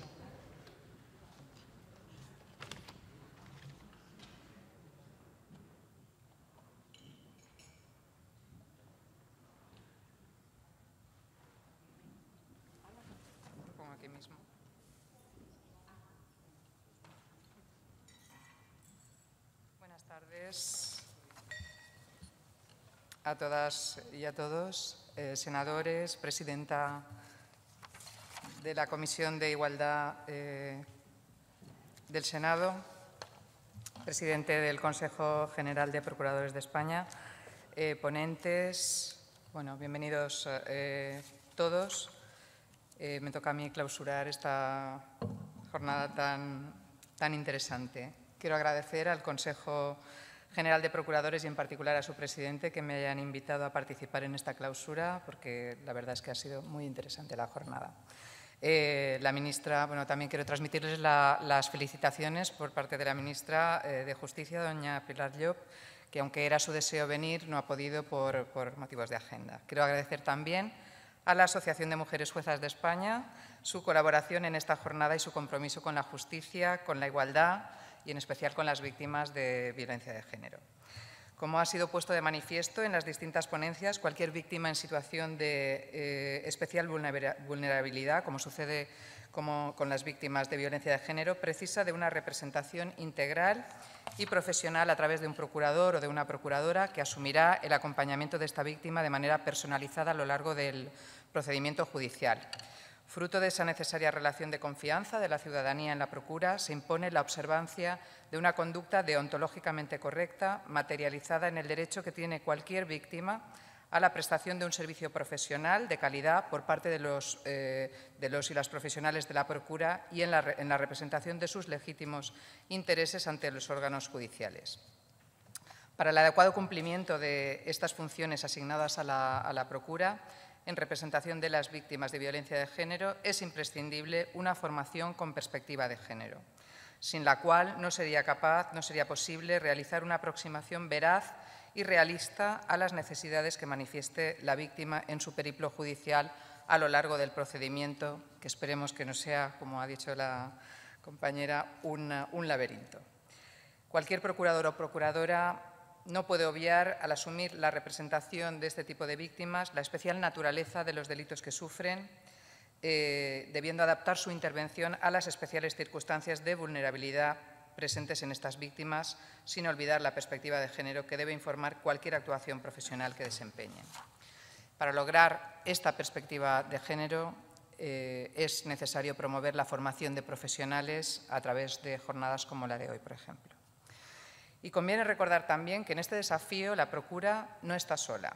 El Ministerio de Justicia está fuertemente comprometido con la atención y el apoyo a las víctimas y pone a su disposición las oficinas de asistencia a las víctimas del delito. Evidentemente hay mucho trecho todavía eh, por, recorrer, pero, eh, como también ha manifestado el catedrático, no estamos precisamente entre los países que menos apoyan a las víctimas, sino que se ha trabajado mucho, aunque quede mucho todavía por hacer. Entre las funciones que corresponden a, estas oficinas de atención a las víctimas del delito, eh, destacan la información a las víctimas desde el primer contacto y durante todo el procedimiento, con un lenguaje sencillo y asequible sobre cuáles son sus derechos, cómo ejercitarlos, el acceso a la justicia gratuita y la asistencia para solicitarla, y el acompañamiento de la víctima a lo largo del proceso, al juicio si lo necesita o a las distintas instancias penales. Por tanto, la comunicación y coordinación entre estas oficinas eh, de atención a las víctimas y los procuradores y las, procuradores que, las procuradoras que les representan es fundamental para, para garantizar el adecuado ejercicio de los derechos de las víctimas a lo largo del procedimiento judicial. Una atención profesional y especializada debe orientar en todo momento y desde el primer contacto de la víctima de violencia de género con la autoridad judicial las intervenciones que se lleven a cabo tanto desde la Procura como desde las oficinas de asistencia a las víctimas del delito. El Ministerio de Justicia ha apostado decididamente por la mejora y refuerzo de la asistencia a las víctimas del delito, en especial en lo que se refiere a las víctimas de violencia de género, y estamos incorporando la perspectiva de género en todo el trabajo que desarrollamos. Quiero únicamente eh, hacer referencia a algunas pinceladas, algunas líneas de actuación en, eh, cuanto a la protección, a la asistencia a las víctimas en las que estamos trabajando eh, y que, bueno, que esperamos que con el tiempo eh, se sumen otras iniciativas. En, principio, estamos trabajando mucho en la sensibilización y formación de los operadores jurídicos en materia de igualdad entre hombres y mujeres y en materia de violencia contra las mujeres, a través de la formación organizada por el, por el eh, Centro de Estudios Jurídicos para cuerpos funcionariales de la Administración de Justicia y para la carrera fiscal, o a través de las, eh, cuartas jornadas de justicia e igualdad que hemos celebrado hace apenas unas semanas eh, con motivo del 8 de marzo, o también a través de los cursos de formación disciplinares en el marco del Pacto, del, Estado contra, del Pacto de Estado contra la Violencia de Género que realizamos para nuestro personal de las oficinas de asistencia a las víctimas del delito y en las que incluimos también a juezas, jueces, fiscales, letrados y letradas de la Administración de Justicia y profesionales de la abogacía y la procura. Trabajamos también en la mejora y el refuerzo de la asistencia jurídica gratuita a las mujeres víctimas de violencia de género y otras víctimas vulnerables. En las próximas semanas esperamos aprobar el proyecto de Real Decreto en el que hemos estado trabajando desde el Ministerio, por el que se modificará el Reglamento de Asistencia Jurídica Gratuita para fortalecer el derecho de defensa y representación de las víctimas de violencia de género y de otras víctimas vulnerables. El proyecto de Real Decreto introduce un nuevo artículo en el Reglamento de Asistencia Jurídica Gratuita para regular los requisitos específicos que los profesionales, tanto de la abogacía como de la procura, inscritos en el turno de oficio especializado en violencia de género, deberán cumplir para garantizar una relación de respeto y recíproca confianza entre el profesional y la persona beneficiaria de la justicia gratuita. De esta manera, no podrán prestar dicho servicio los profesionales que cuenten con antecedentes penales por delitos de naturaleza similar a los delitos que han sufrido las víctimas a las que defienden o representan. Esta exigencia se extiende además a las víctimas de, eh, aparte de las víctimas de violencia de género, a la defensa y representación de víctimas de otros delitos como eh, son las víctimas del terrorismo, de la trata de seres humanos o las víctimas menores de edad y las víctimas con discapacidad necesitadas de protección especial. Con este proyecto normativo, el Ministerio de Justicia reafirma su compromiso con, con las víctimas del delito en su proceso de recuperación, especialmente con, como digo, con las más vulnerables.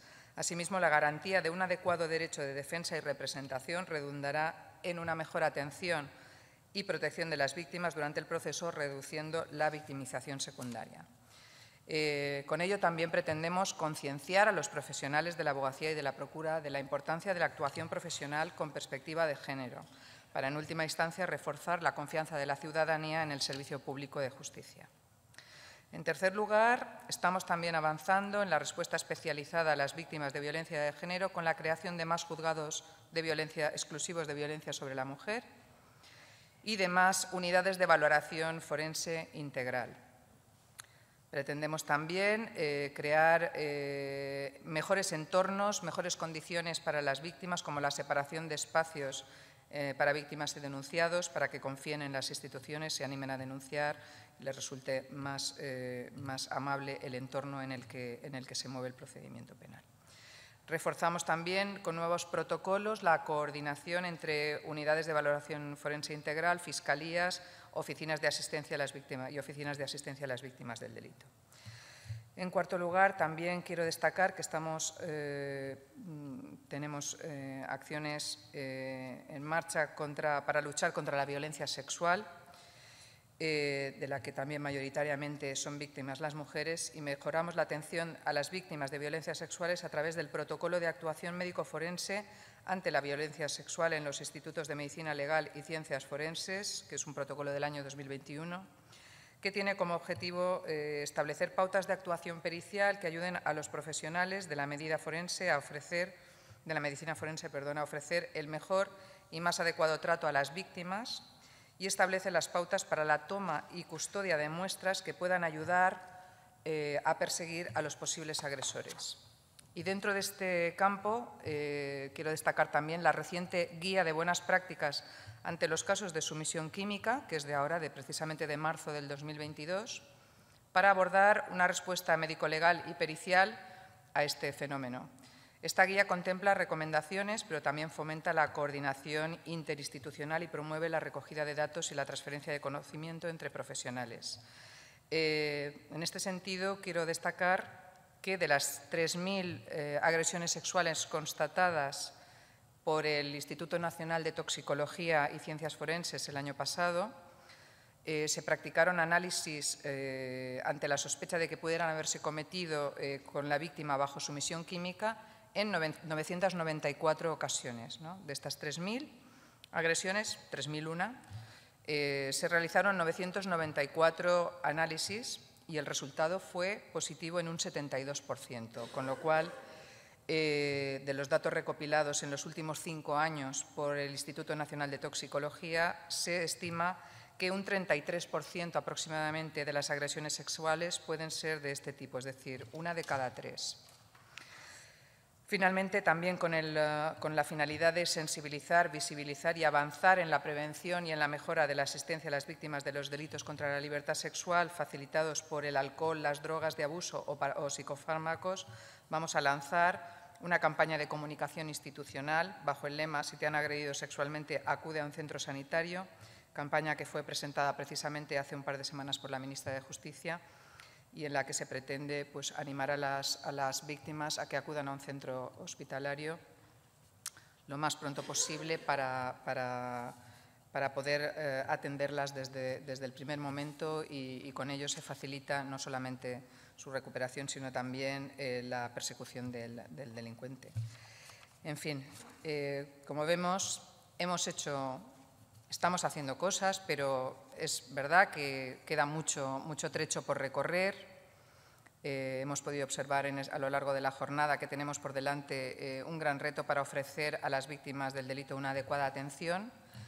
Eh, es un reto y un compromiso que nos concierne a todas y a todos, a las instituciones públicas y a la sociedad en general, y en las que procuradoras y procuradores, por vuestra cercanía con las víctimas, en tanto que sus representantes en el procedimiento judicial, tenéis sin duda mucho que aportar y estaremos muy pendientes de vuestras propuestas que eh, siempre son eh, muy bien valoradas por, el Ministerio. Así que muchas gracias, muchas gracias por, a, la, Asociación de, Mujeres Juezas, muchas gracias también al Consejo, al Senado por acogernos aquí y agradeciendo una vez más la invitación eh, recibida para participar en esta jornada, pues sin más ya declaro clausurada la jornada. Muchísimas gracias por su atención.